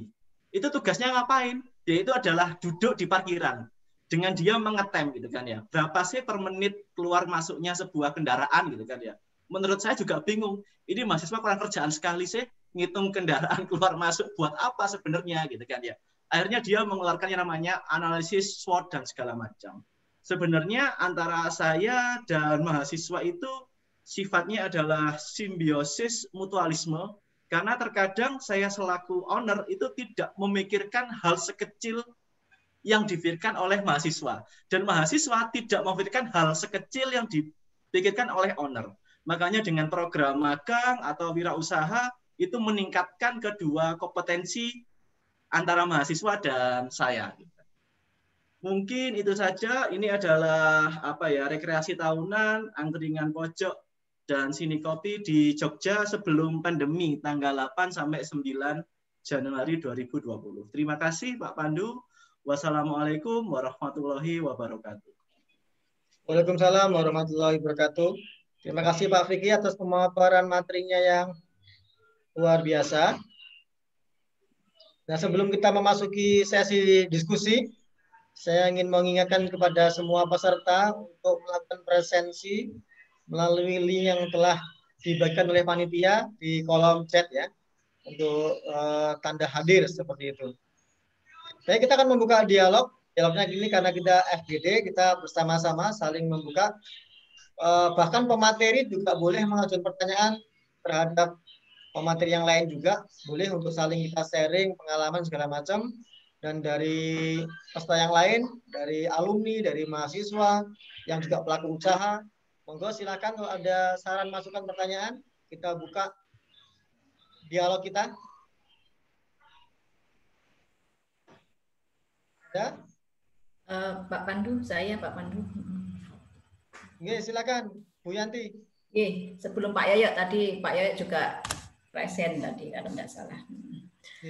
Uh, terima kasih. Saya sudah menyimak dari empat narasumber yang semuanya sangat menginspirasi dan bisa kita gunakan sebagai dasar untuk uh, menentukan kegiatan-kegiatan yang akan dirancang oleh tim ini. Ya. Tetapi uh, saya ada pertanyaan buat Simpua Kreatif, Mas siapa ini ya? ya, ya. Uh, Mas Sofan. Ya, kan di PGSD itu kan menghasilkan calon guru SD yang tentunya juga nantinya mengajar matematika. Iya. Ya. Uh, saya lihat di Simpua Kreatif itu juga mengajarkan berhitung cepat gitu ya. Iya, Ibu. Nah, gitu ya. Eh, kalau itu di mahasiswa magang di sana, kegiatannya selain uh, artinya selain belajar tentang itu, ya tentang saya berpikir tadi itu relevansi dengan mata pelajaran mata kuliah matematika begitu ya. Tetapi kalau uh, matematika yang dasar kan ini kebetulan bos sempoanya kan orang matematik gitu ya. Hmm. Kalau matematik dasar kan sudah diberikan di awal-awal semester, tapi kita juga memberikan kegiatan magang di akhir gitu ya, di semester 6 kalau tidak salah, kalau tidak salah. Nah ini kalau di sana eh, karena kebetulan orang matematika ya Mas, eh, ide apa yang bisa disumbangkan ke kami supaya mahasiswa ini juga kalau memagang di Sempoa Kreatif itu diakui sebagai uh, mata kuliah apa idenya dari uh, jenengan gitu ya. Ini kebetulan sama-sama matematika. Uh, mohon ini dijawab dulu sebelum saya nanti ke yang kedua begitu. Untuk uh, magang di Sempoa Kreatif, jadi nanti mahasiswa yang magang di tempat kami nanti akan kami berikan materi untuk tingkat satu. Untuk tingkat satu itu satuan sama puluhan. Itu nanti ketika bukunya sudah selesai, dari kami akan mendapatkan sertifikat pelatihan guru. Jadi nanti mahasiswa yang magang di tempat kami nanti bisa mengajar bisa mengajar di sebuah kreatif. Jadi kemampuan yang bisa magang di sebuah kreatif, jadi nanti mahasiswa-mahasiswa yang magang di sebuah kreatif itu bisa dapat sertifikat tingkat satu di sebuah kreatif. Karena tadi kurang lebih waktunya itu satu semester atau enam bulan, itu nanti kalau mahasiswanya telaten, bagus, itu bisa tingkat satu selesai materinya. Kalau bisa lanjut sampai enam bulan, itu materi tingkat satu, tingkat dua bisa didapat eh, untuk mahasiswa yang magang di kami. Jadi nanti ketika mahasiswa magang di kami, dia bisa mengajar sempoa kreatif karena sudah kita ajari juga materi sempoa kreatif tambah kurang, tingkat duanya kali baginya sudah dapat. Kemudian kita ajari juga cara pengembangan usaha. Karena semua pengembangan usaha di semua kreatif itu yang megang itu bukan saya, tapi semua eh, calon-calon cabang. Jadi cabang itu nanti bisa mengembangkan sendiri tentang eh, marketing, cara mengajar, kemudian teknik-teknik untuk cabang itu bisa berkembang itu nanti kita ajarkan semua. Seperti itu, Bu. Oke, terima kasih. Berarti nanti uh, kalau saya lihat kan ada uh, Sempoa Kreatif tingkat satu dan tingkat dua ya nanti akan diajarkan. Ya. Selain itu juga pengembangan usaha ya, Mas ya. ya. Oke, oke, terima kasih. Itu jadi bahan kami untuk menyusun uh, apa ya pengakuan kredit gitu ya di kampus sehingga kalau uh, itu dilakukan sehingga mahasiswa diakui setara dengan mata kuliah apa yang nanti akan menjadi ini. Ya oke. Okay. yang kedua Bu Yanti. Hmm? yang kedua. Oke, okay, halo. Halo Mas Pandu Ya Bu Yanti. Oke. Okay. Saya yang kedua ya, yang kedua. Yang kedua sekarang. Ya, kedua untuk Mas Mati Matul Hak dan Mbak Anissa Rizky. Ya, sangat luar biasa Anda masih mahasiswa sudah punya pemikiran bisnis, sudah mengembangkan bisnis yang juga luar biasa. Dan saya baru ingat kalau Anissa Putri itu juga mahasiswa saya angkatan 2018 kelas A ya. Uh, tapi kalau nggak disebut saya nggak ingat Mbak Mbak Anissa. Jadi sama Bu Ini, ini kan kalau Mas Ahmad kan dari manajemen mata kuliah uh, manajemen ya Mas ya. Manajemen pendidikan Bu. Ah lah ya manajemen pendidikan di VIP ya. gitu ya. Nah, ini kalau ini kebetulan Mbak Anissa itu kan pelaku mahasiswa langsung kan gitu ya. Mahasiswa langsung di PGSD gitu ya. Kalau kalau uh, sekira kan ini pelaku itu kan tahu tahu detail terhadap uh, kurikulum yang dijalankan dan bagaimana perkuliahan itu dilakukan kan begitu. Kalau Mbak Anissa itu ada mahasiswa, ya kebetulan Anda angkatan 2018 nanti nggak kena kurikulum ini, yang kena itu 2019. Kalau ada mahasiswa yang magang di Koguru, ya anda sebagai pelaku langsung sebagai mahasiswa dan tahu struktur kurikulum itu nanti eh, kira-kira itu untuk setara dengan mata kuliah apa yang ada di PGSD. Mas eh, Mas Ahmad juga mungkin bisa menjawab gitu karena ini kan juga relevansinya kedua-duanya ini mahasiswa gitu loh ya. Ya, itu mungkin itu Mbak dan Mas Ahmad. Silahkan. Baik Ibu, uh, terima kasih atas pertanyaannya tadi. Jadi kayak kalau mengenai relevansi terkait mata kuliah, banyak banget Bu yang bisa dipelajari di Oguru Indonesia. Mulai dari uh, manajemen humas, kemudian manajemen SDM, kemudian uh, manajemen uh, startup juga, kemudian ada belajar IT juga sama teman-teman teknologi. Kemudian uh, di sini nanti teman-teman mahasiswa PGSD itu bisa belajar untuk membuat video pembelajaran secara uh, interaktif dan menarik Ibu. Kemudian uh, di Oguru juga karena Oguru juga mempro, apa, merupakan layanan yang di mana bukan hanya vokasional saja, tapi juga akademik, baik, baik itu tingkat SD, SMP, SMA. Jadi teman-teman mahasiswa itu pun bisa mengajar juga Ibu di Oguru Indonesia. Jadi uh, di Oguru Indonesia ini uh, teman-teman mahasiswa itu bukan hanya uh, melaksanakan teknisnya aja, tapi juga melaksanakan uh, secara praktek atau secara langsung terjun untuk berhadapan dengan customer kami Ibu. Seperti itu. Ya, oke. Okay. Kalau mungkin tambahan dari Ica. Ya, karena ini kan pelaksanaannya nanti di semester semester piro atau Mas Vicky? 6 atau 7 ya lupa saya untuk yang kegiatan magang ini. Kan Karena kalau yang masih ditentukan Bu kan bisa Hah? juga 4 atau 5 ini Bu. Lihat nanti. Enggak, artinya Enggak. yang untuk uh, kegiatan 6, magang. 6. 6. 6. Nah, ini Artinya kan di semester 6. Kalau yang di semester awal-awal oke okay lah. Tadi kalau manajemen Eh, media, bahan ajar itu kan diberikan oleh PGSD itu kan di awal-awal semester 1 sampai dengan 5. Nah, di semester 6 ini kan full mereka nanti kalau magang dia kan magang di luar kan gitu ya. Nah, sehingga kan eh, Mbak Anissa mungkin bisa memberikan eh, pandangan jika kalau itu mahasiswa itu mahasiswa PGSD diterjunkan di sana itu nanti pengakuannya itu kira-kira setara dengan mata kuliah apa yang di luar semester 1 sampai 5 begitu ya. Oke, silakan Mbak Anissa. Oke, iya terima kasih Ibu atas pertanyaannya. Jadi untuk semesternya sendiri itu saya kurang tahu uh, mata kuliah apa saja karena kan ada perbedaan dengan 2018 dan juga 2019 kurikulumnya. Nah, Mungkin untuk kami sendiri dari Oguru, ini karena kami sangat luas, jadi dapat mencakup beberapa bidang, yaitu ada IPA, ada matematika, ada IPS, PKN, maupun psikologi juga kita kan juga ada untuk vokasionalnya. Jadi sebenarnya untuk mata kuliah yang akan dikonversikan nanti itu kita ini fleksibel, Bu.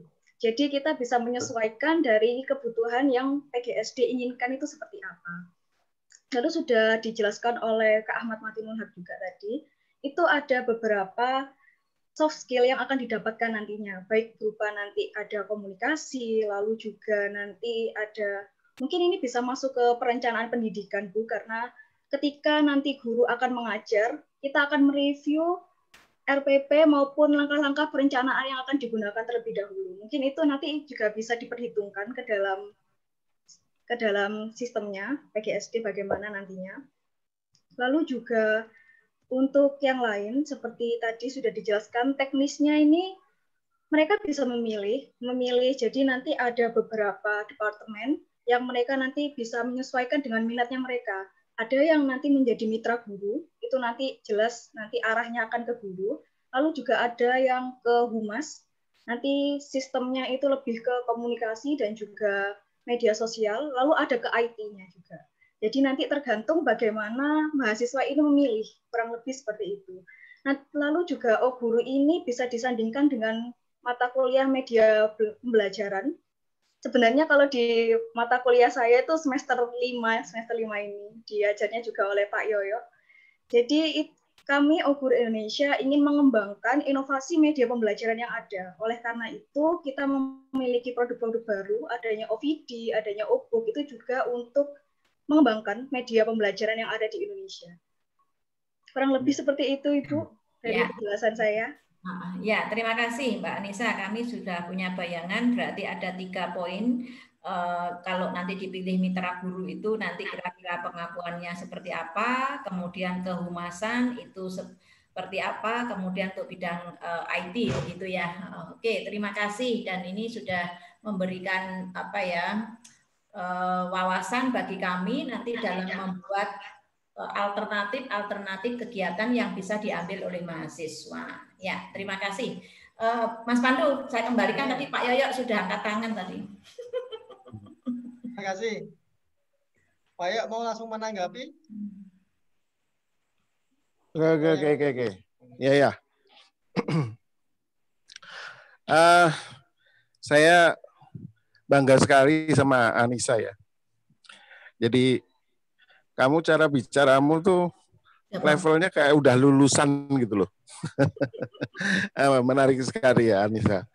Uh, sepertinya yang yang perlu um, bersiap-siap itu kita dosen-dosen di PGSD ini Bu Yanti. Jadi memang uh, program MBKM itu menuntut kita untuk restrukturisasi kurikulum yang yang sementara ini kita baru berpikir menghadapi semester 6 7 itu saja. Jadi nanti ke depannya memang kita restrukturisasi kurikulumnya mulai dari semester 1 itu. Jadi nanti mana-mana mata kuliah di semester 1 2 3 sampai 7 itu yang akan dikumpulkan di semester 6 dan semester 7 itu. Seperti itu memang. Jadi uh, saya usul ya ini usulnya justru ke teman-teman ke kita sendiri ya. Jadi kita harus membuat untuk sementara ini model yang awal ini kita akan membuat uh, mata apa ya mata magang.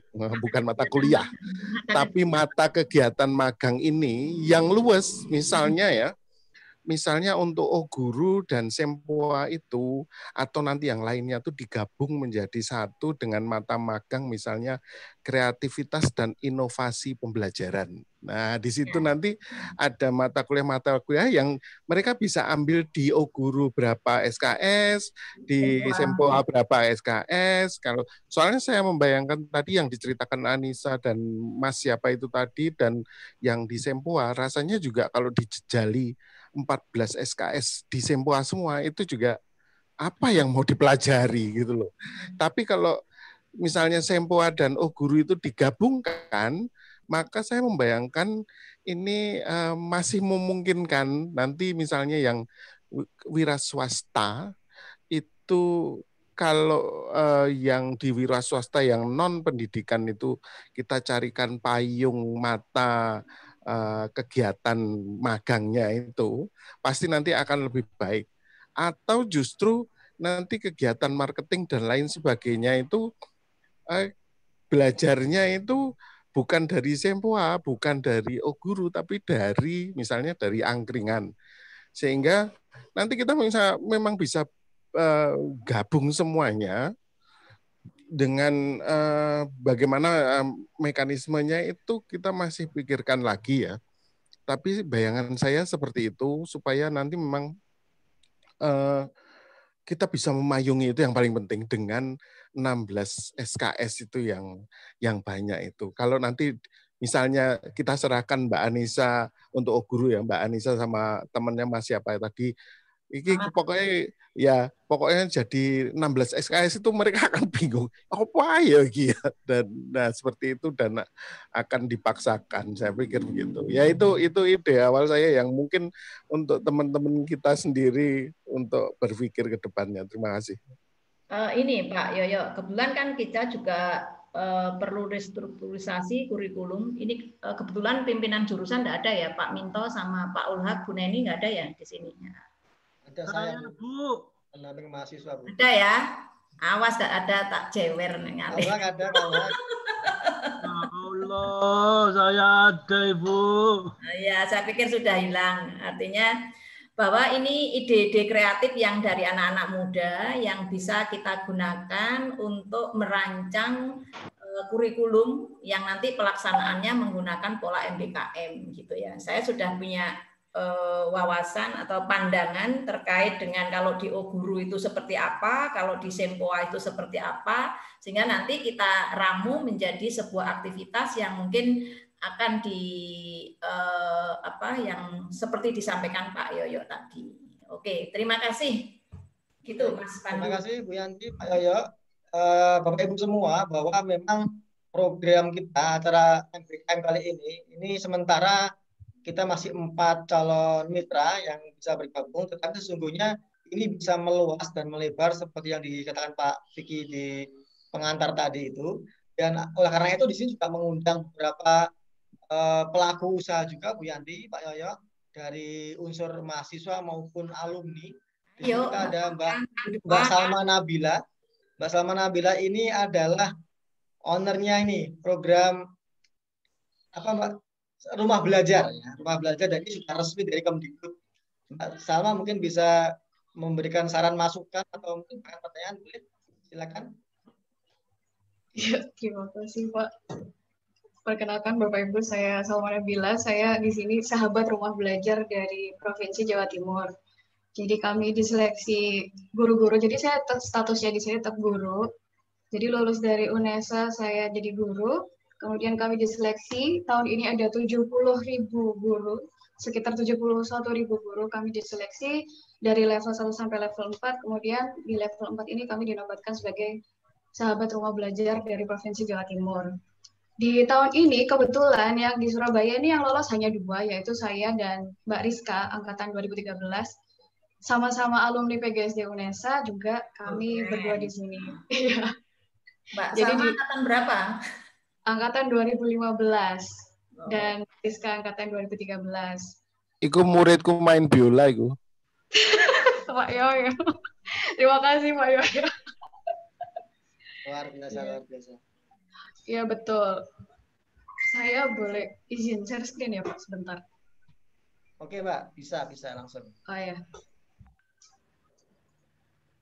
Saya jadi guru tapi juga sambil berusaha, usahanya berupa apa? Itu saya membuatkan video di sini. Jadi mungkin ada sebentar. Ini channel YouTube saya, Bapak Ibu. Ini nah, ini seperti ini. Jadi saya juga berkecimpung di dunia video serta aplikasi. Jadi saya tuh membuatkan aplikasi-aplikasi seperti itu. Bentar, saya bukakan juga aplikasinya. Kebetulan skripsi saya juga tentang aplikasi. Ada Bu Putri, ada Pak Ganes, serta Pak Perayat ini dosen penguji skripsi saya. Itu juga tentang aplikasi. Jadi dari situ saya tertarik dengan aplikasi, dengan teknologi-teknologi seperti itu. Jadi ada yang pesan-pesan juga itu di Instagram satunya lagi karena yang ini kan memang Instagram kami itu diawasi sama Kemdikbud. Sos- semua sosial media ini diawasi sama Kemdikbud yang di sini. Jadi saya buat lagi namanya media VVIP jadi itu khusus untuk kalau yang order seperti itu. Ini contoh video saya. Sebentar saya sudah share audio atau belum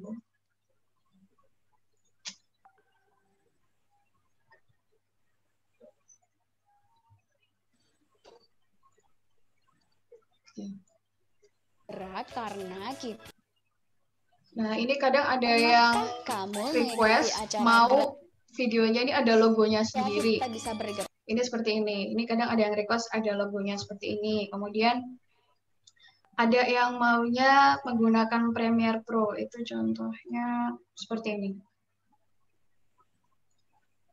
Cuman ini gurunya juga harus ekspresif di sini ya. Pelopori penyebaran agama di Indonesia adalah bangsa Portugis. Kemudian, Glory, jah negara. Ilmu pengetahuan dan tek. Kemudian, Scientech atau ilmu pengetahuan dan teknologi. Ilmu pengetahuan dan teknologi selalu berkembang pesat. Contohnya sebagai berikut. Dikembangkannya teknik pembuatan kapal yang dapat mengarungi samudra yang luas. Ditemukannya mesin untuk saya juga kadang menerima guru-guru yang mungkin membutuhkan video seperti ini, apalagi di, di masa seperti ini banyak sekali yang order. Kemudian untuk aplikasi contohnya seperti ini.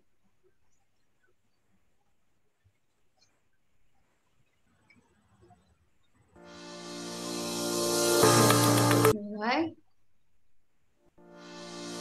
Nah, dari pendahuluan materi game. Misalkan kalau materi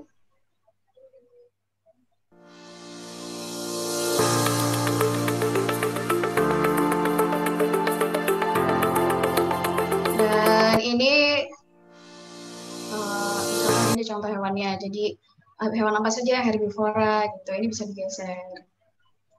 Kemudian karnivora ini banyak tergantung requestnya seperti apa. Kemudian ada gamenya juga. Misalkan kalau ini saya klik, maka kurang tepat akan muncul kurang tepat seperti ini. Tapi itu jika benar, juga akan muncul benar. Jadi ini juga by request seperti itu. Nah, kadang guru-guru ini request juga untuk diupload di rumah belajar. Jadi di kementerian ini ada portal rumah belajar.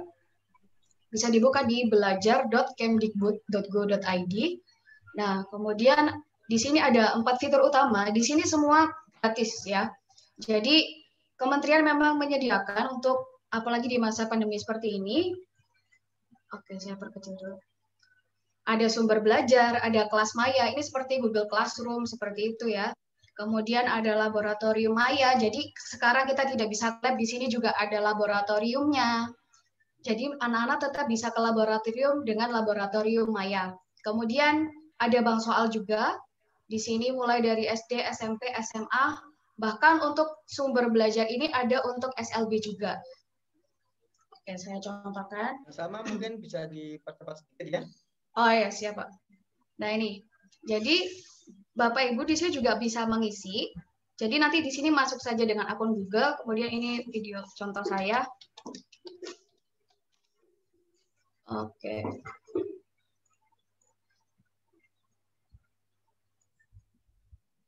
Nah, bisa di di sini. Jadi video-video aplikasi itu bisa terupload semua di sini, bisa menggunakannya secara gratis. Jadi saya sambil sebagai guru, saya juga sambil menjadi ibaratnya dutanya rumah belajar begitu, dan saya juga menjalani dengan ada penjualan aplikasi, kemudian video yang saya lakukan di situ. Kadang ketika saya sosialisasi ke sekolah-sekolah seperti itu, itu juga saya bisa berbeda usaha. Misalkan saya menerangkan tentang virtual reality, mereka juga mau beli alatnya. Akhirnya saya ke mana-mana bawa alat-alat yang biasa saya bawa dan saya di situ juga sambil jualan. Jadi semuanya bisa kita lakukan di situ. Begitu Pak, terima kasih. Mbak Salma, berarti apakah mahasiswa itu bisa kira-kira magang di rumah belajar? Karena itu kan program kan ya. Iya, ini ini dari Kemdikbudnya Pak. Kalau yang saya tahu mahasiswa teknologi pendidikan biasanya yang magang di ada namanya Balai BPM TPK, Televisi Pendidikan dan Kebudayaan dari Kemdikbud, itu biasanya mahasiswa TP itu magang di situ. Karena memang mereka kan ada broadcasting, ada dan lain-lainnya, itu biasanya dari TP. Iya. iya. Ya, saya sudah menangkap clue-nya ini Mbak Sama dan luar biasa sekali. Ini bergerak dalam bidang media pembelajaran yang mungkin ya yang jadi gini ya, istilahnya bagi uh, para alumni atau mahasiswa yang mempunyai usaha yang sekiranya bisa di branding dengan PGSD, ya, eh, ini mungkin bisa membuat semacam proposal singkat tentang profil uh, usahanya seperti apa. Terus nanti yang jelas usaha itu harus sudah mempunyai izin resmi, begitu. Ada surat izin usahanya. Terus kemudian kira-kira kalau mahasiswa itu magang di tempat Anda, itu kira-kira programnya apa, dan kalau dikonversi itu menjadi mata kuliah apa.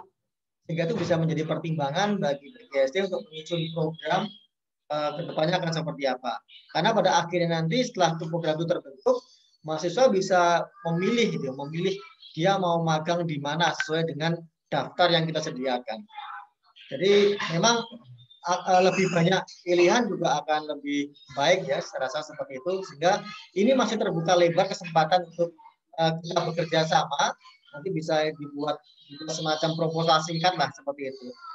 Nah, dan kami pun dari TGSI juga akan menggodok atau atau menyusun kerangka kurikulumnya akan seperti apa, kerangka magangnya seperti apa, dan nanti pengakuan SKS-nya itu berapa SKS, itu akan kita usahakan lebih lanjut setelah nanti acara ini selesai ya. Jadi acara ini kan memang sebagai gambaran umum saja tentang program ini.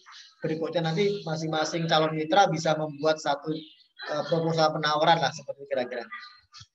Baik, ada lagi yang ingin disampaikan?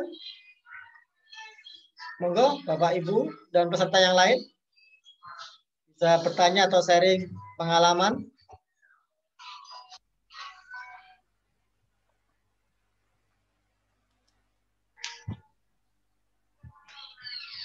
Ya, silakan.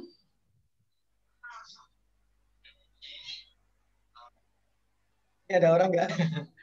Pak Vicky mungkin uh, Pak Vicky ini selaku ini ya, selaku uh, pemateri, pemateri, pemateri MBKM. Ya gimana? Setelah melihat uh, beberapa gambaran dari calon mitra dan juga ada masukan juga dari peserta yang lain, kira-kira nanti apakah sudah punya gambaran terkait dengan program ini ke depan akan seperti apa? Apa kita perlu nanti membuat satu workshop lagi untuk membuat semacam SOP bersama atau program bersama begitu atau gimana? Rencananya ke depan. Karena kan memang di dalam peningkatan soft skill mahasiswa itu kan merubah drastis kurikulum PGSD secara signifikan gitu kan ya. Tentunya banyak terjadi pertentangan di dalam internal gitu kan ya. Kenapa sih pentingnya mohon maaf misalnya belajar teknologi? Kenapa sih pentingnya belajar sebuah ilmu marketing? Apa sih pentingnya sebuah relasi? Itu sebenarnya kan masih dalam perdebatan gitu kan ya. Tentunya ini adalah program awal gitu kan ya sehingga kami memiliki sebuah pengetahuan awal bahwa sebenarnya di luar sekolah dasar itu masih banyak peluang yang bisa dimiliki oleh mahasiswa PGSD tentunya dengan bantuan Bapak Ibu semua di sini sehingga kita memiliki profil mahasiswa yang lengkap gitu kan ya. Dia mau jadi guru nanti silahkan, dia mau menjadi seorang pemilih LBB silahkan, dia mau menjadi seorang pengusaha silahkan, dia mau menjadi pengusaha media juga silahkan. Tentunya itu adalah sebuah perdebatan menarik sehingga kita masih apa ya membutuhkan banyak saran, masukan. Mungkin dari alumni yang hadir hari ini ada masukan atau bagaimana? Yang jelas kita sudah memiliki sebuah bayangan bahwa sebenarnya selama ini yang kita anggap bahwa kampus kita ini besar ternyata di luar kita juga kecil juga gitu kan ya. Kita masih masih masih perlu belajar bersama sehingga bisa meningkatkan kemampuan mahasiswa. Itu Pak Pandu dari saya. Mungkin ya. bisa dikembalikan ke alumni atau mahasiswa yang sekarang hadir karena kadang-kadang kita menginginkannya A mahasiswa itu maunya B gitu kan ya. Ini kan menjadi dilematis gitu kan ya wah ternyata kuliah PGSD kok disuruh dodolan itu kan juga sebuah perdebatan yang unik gitu kan ya ketika zaman kurikulum dulu kita memaksakan mahasiswa jadi pengusaha cuma dua SKS gitu kan ya. Sekarang dikasih 20 SKS kita malah bingung gitu kan ya. Kok jadi pengusaha, kok jadi magang di tempat yang lain itu kan menjadi apa ya sesuatu hal yang debatable sampai sekarang. Itu Pak Pandu. Oke, oke. Terima kasih Pak Vicky. Jadi gini, uh, saudara-saudara ya, para peserta, memang program MBKM ini, terutama yang pendidikan soft skill ini adalah hal yang baru bagi PGSD di era Merdeka Belajar, dan kami mencoba untuk mencari format yang terbaik lah untuk membuat pengalaman mahasiswa ini di dunia kerja itu yang seefektif mungkin. Karena itu eh, kami mengundang beberapa mitra dan juga pelaku usaha ini tujuannya adalah memberikan kami masukan dan saran kira-kira kurikulumnya akan seperti apa gitu misalnya.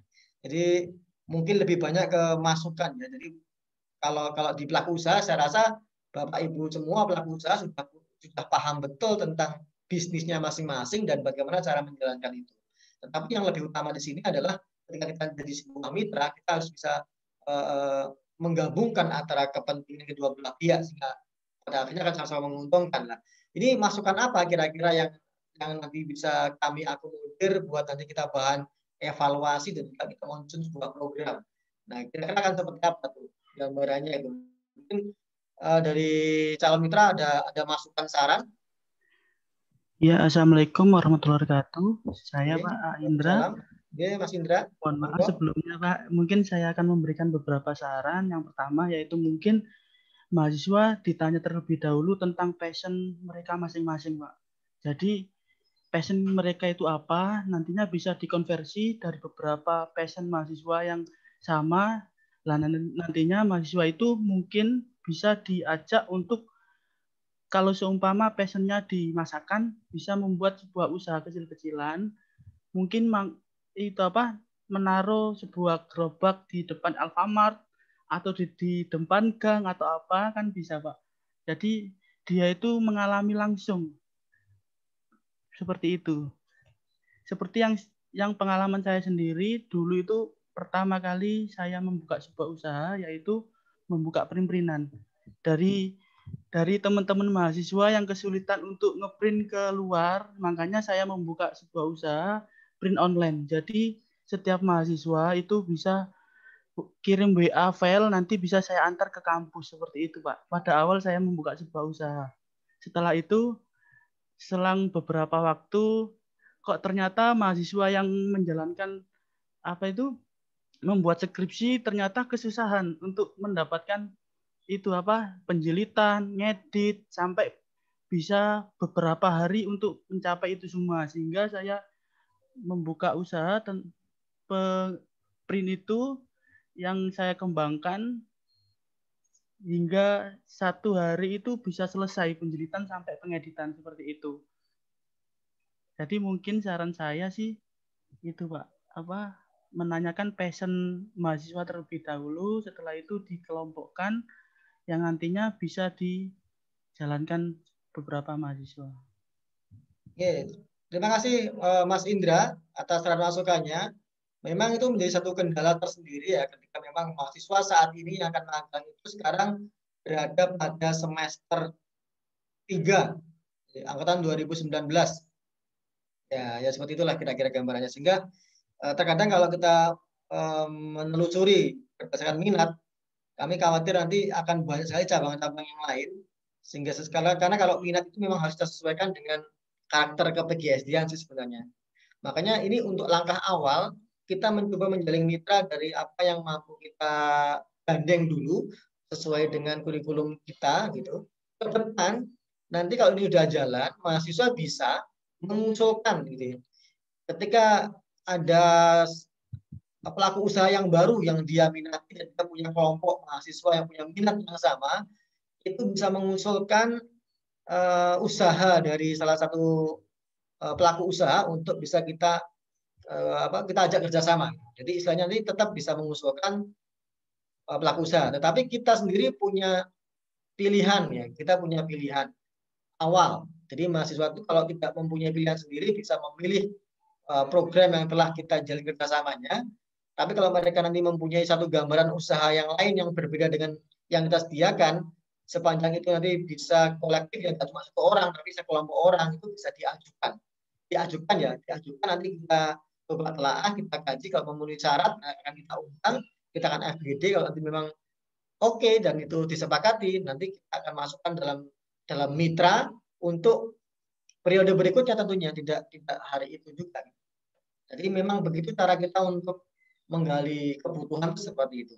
Tidak bisa kita pertama langsung kita sebar angket kepada mahasiswa maunya ke mana lalu mereka mengisi masing-masing lalu kita harus semua kita buat pilihan akan susah karena ini berhubungan juga dengan banyak hal ya bukan hanya SOP tapi kerjasama itu kan akan berhubungan juga dengan pendanaan dan segala macam.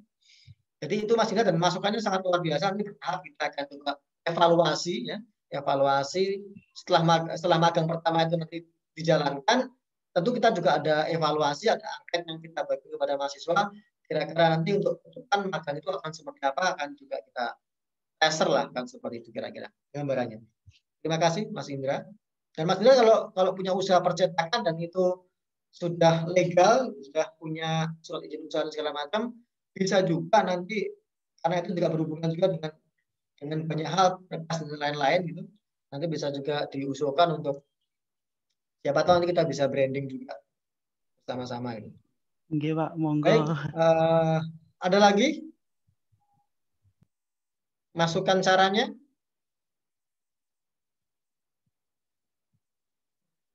Karena yang namanya ini ya eh, pelaku usaha tentu sebenarnya bidangnya itu bisa berbeda dengan PGS seperti yang disampaikan oleh Pak Vicky. Karena PGS itu calon guru, kalau kita ini magang di masyarakat pelaku usaha, mungkin saja nanti selesai magang bisa menjadi pelaku juga di usaha itu. Misalkan nanti mahasiswa magang di kreatif, setelah magang bisa saja nanti membuka cabang sebuah kreatif di masing-masing gitu. Karena apa? Karena di materi magang itu artinya membuka pandangan, membuka skill, wawasan dan segala macam yang akhirnya tertarik saja menggeluti bidang sesuai tempat magangnya itu. Bisa saja seperti itu sehingga sehingga mungkin ke depan itu lulusan PGSD itu tidak semuanya harus jadi guru gitu loh. Mungkin bisa bisa ke bidang yang lainnya. Saya rasa mungkin itu tujuan dari salah satu tujuan dari program ini seperti itu. Monggo ada masukan lagi? Saya Pak Pandu. Oh, Pak Yoyo. Baik, uh, seru sekali dan banyak sekali inspirasi ya sore ini dari teman-teman uh, Sempoa Kreatif, dari Java Catering, um, O Guru, dari uh, Angkringan Pojok, dari Mbak Salma Nabila, dan mungkin masih banyak uh, Mas Indra dan masih banyak teman-teman kita yang sebetulnya uh, mempunyai kegiatan tertentu yang inspiratif. Nah, baik uh, menurut saya memang masukan-masukan dan saran-saran seperti Mas Indra itu uh, kita tampung semuanya dan kita akan mencoba mengadaptasi semampu kita di PGSD ini mana-mana uh, yang akan kita bisa laksanakan untuk uh, tahun satu tahun ke depan ini tahun 2021 ini karena mulai dilaksanakan itu ya. Nah, mudah-mudahan nanti semua teman-teman narasumber ini tidak bosan untuk kita bisa aja diskusi lagi Pak Pandu karena nanti mungkin setelah ini PR-nya buat kita adalah melanjutkan diskusi bagaimana penerapan untuk MBKM yang khususnya tentang magang ini. Uh, nanti kita setelah diskusi kita uh, mengerucut pada program kegiatan tertentu, kita pasti akan perlu lagi diskusi dengan teman-teman dari Sempoa Kreatif, dari Java uh, Catering, dari uh, Oguru, dari Mbak Salma, dari uh, Angkringan Pojok, dan mungkin teman-teman yang lain. Ternyata yang jadi uh, sesuatu yang luar biasa adalah ternyata banyak juga ya lulusan PGSD yang uh, sudah berkiprah di luar guru ya, di samping jadi guru, tapi di luarnya dia berkiprah yang luar biasa dan itu uh, sangat pantas kalau kita ajak bicara dalam forum di PGSD karena ini menginspirasi buat teman-teman yang uh, belum lulus di PGSD bahwa pasti seperti teman-teman yang sudah di PGSD ini seperti Salma kan pasti punya pengalaman ternyata hal-hal yang dipelajari di PGSD itu banyak dan itu kalau kita serius memanfaatkannya juga akan bisa menjadi sesuatu seperti itu. Nah, baik terima saya pribadi terima kasih ke uh, Sempoa Kreatif, ke Angkringan Pojok, ke Mas Haki yang di Java Catering, ke Oguru, ke Mbak Salma, Mas Indra dan teman-teman lain. Begitu uh, Pak Pandu, terima kasih. Selamat sore. Oke, terima kasih Pak Yoyo yang sudah memberikan uh, tanggapan terkait masukan-masukan dari para peserta. Tentunya kami berharap nanti calon mitra setelah forum ini, ini bukan forum terakhir, justru ini adalah forum yang awal, karena di forum awal ini kita akan menggali masukan-masukan untuk kami dari PGS itu membuat satu konsep, ya satu konsep, satu pola tentang uh, kegiatan magang ini akan seperti apa dan konversinya akan seperti apa. Nah, oleh karena itu setelah ini tim tim kami juga akan menyusun sebuah kerangka. Nanti mungkin setelah itu sudah setengah jadi akan akan kami undang lagi Bapak Ibu semua untuk kita mendiskusikan teknis di lapangan. SOP-nya akan seperti apa nanti, terus kewajiban seperti apa, segala macam itu nanti setelah nanti ini program ini berakhir seperti itu. Uh, baik, saya rasa karena ini sudah sudah sangat sore, kita sudah dua jam lebih kita berdialog. Ya, uh, kalau dari saya begini, bagi Bapak Ibu semua dan juga mungkin para alumni bahkan mahasiswa PGSD yang mempunyai usaha ya ini nanti bisa bisa tetap bisa mengajukan. Kami menampung uh, banyak saat masukan dan saran. Anda bisa mengajukan proposal tentang kerjasama ini. Jika nanti kami akan meninjau tentu, tentu mungkin tidak bisa semua kita tampung tapi kita akan memilih yang yang relevan untuk saat ini dan juga kuotanya akan berapa. Nanti kita akan godok dan mungkin akan kami undang kalau memang uh, kami memerlukan program yang Bapak Ibu atau saudara tawarkan. Saya rasa itu mungkin sementara. Saya selaku moderator mengucapkan terima kasih kepada semua pihak yang sudah menghadiri acara kita hari ini. Dan ini semoga bisa membuat satu inspirasi bahwa sekarang program dan tuntutan lulusan masa depan itu bukan hanya uh, tergantung sama jurusan saja. Kalau PGSD harus jadi guru tidak. Tapi kita lebih kepada merdeka belajar dan uh, kita juga merdeka kita punya cara untuk meraih satu ilmu seperti itulah kira-kira. Terima kasih uh, karena ini pembawa acara sedang berhalangan hadir ada urusan maka saya yang akan merangkapnya begitu kira-kira dari saya terima kasih atas kehadiran semua pihak dan kurang lebihnya mohon maaf apabila ada salah kata dan dalam hal penyambutan atau mungkin dalam pelaksanaan acara hari ini kita bisa tutup acara FGD pada sore hari ini dengan ucapan hamdalah bersama-sama. Alhamdulillah. Alhamdulillah. Baik, sudah selesai. Sebelum sebelum kita meninggalkan ruang ini, kita akan foto bersama dulu sebagai dokumentasi buat laporan. Eh, Bapak, Ibu, dan adik-adik, saudara semuanya mungkin bisa menyalakan kamera. Jika berkenan, kita akan lakukan sesi foto bersama. Ada dua halaman di sini, halaman satu dulu. Bisa lambaikan tangan, mungkin senyum. Satu, dua, tiga. Oke, saya cek dulu sebentar.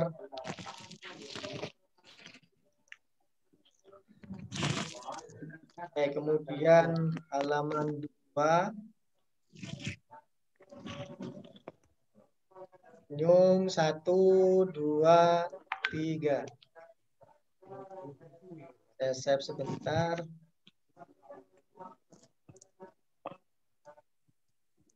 Baik, uh, serasa cukup. Alhamdulillah satu demi satu rangkaian telah kita lalui bersama. Semoga kegiatan kita hari ini ini bisa menjadi satu inspirasi, satu uh, embrio untuk melahirkan kerjasama-kerjasama dan juga lainnya di masa yang akan datang. Dari saya mewakili seluruh panitia yang bertugas, uh, tim operator, uh, ada Mas Paksi di situ, pembawa acara ada Mas Indri, Kasbi, ada Mujinati, ada Pak Vicky, dan segala tim kerabat kerja yang bertugas. Mengucapkan terima kasih yang sebesar-besarnya. Akhirnya kita tutup. Wassalamualaikum warahmatullahi wabarakatuh. Dan salam sejahtera untuk kita semua. Waalaikumsalam warahmatullahi wabarakatuh.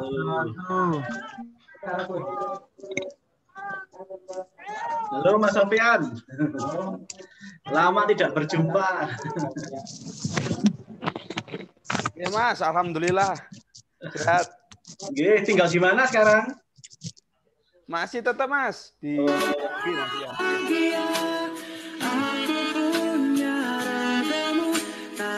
Tak kabar-kabar pas nikah kemarin. Lah katanya apa jenengan dulu seperti itu. Kan saya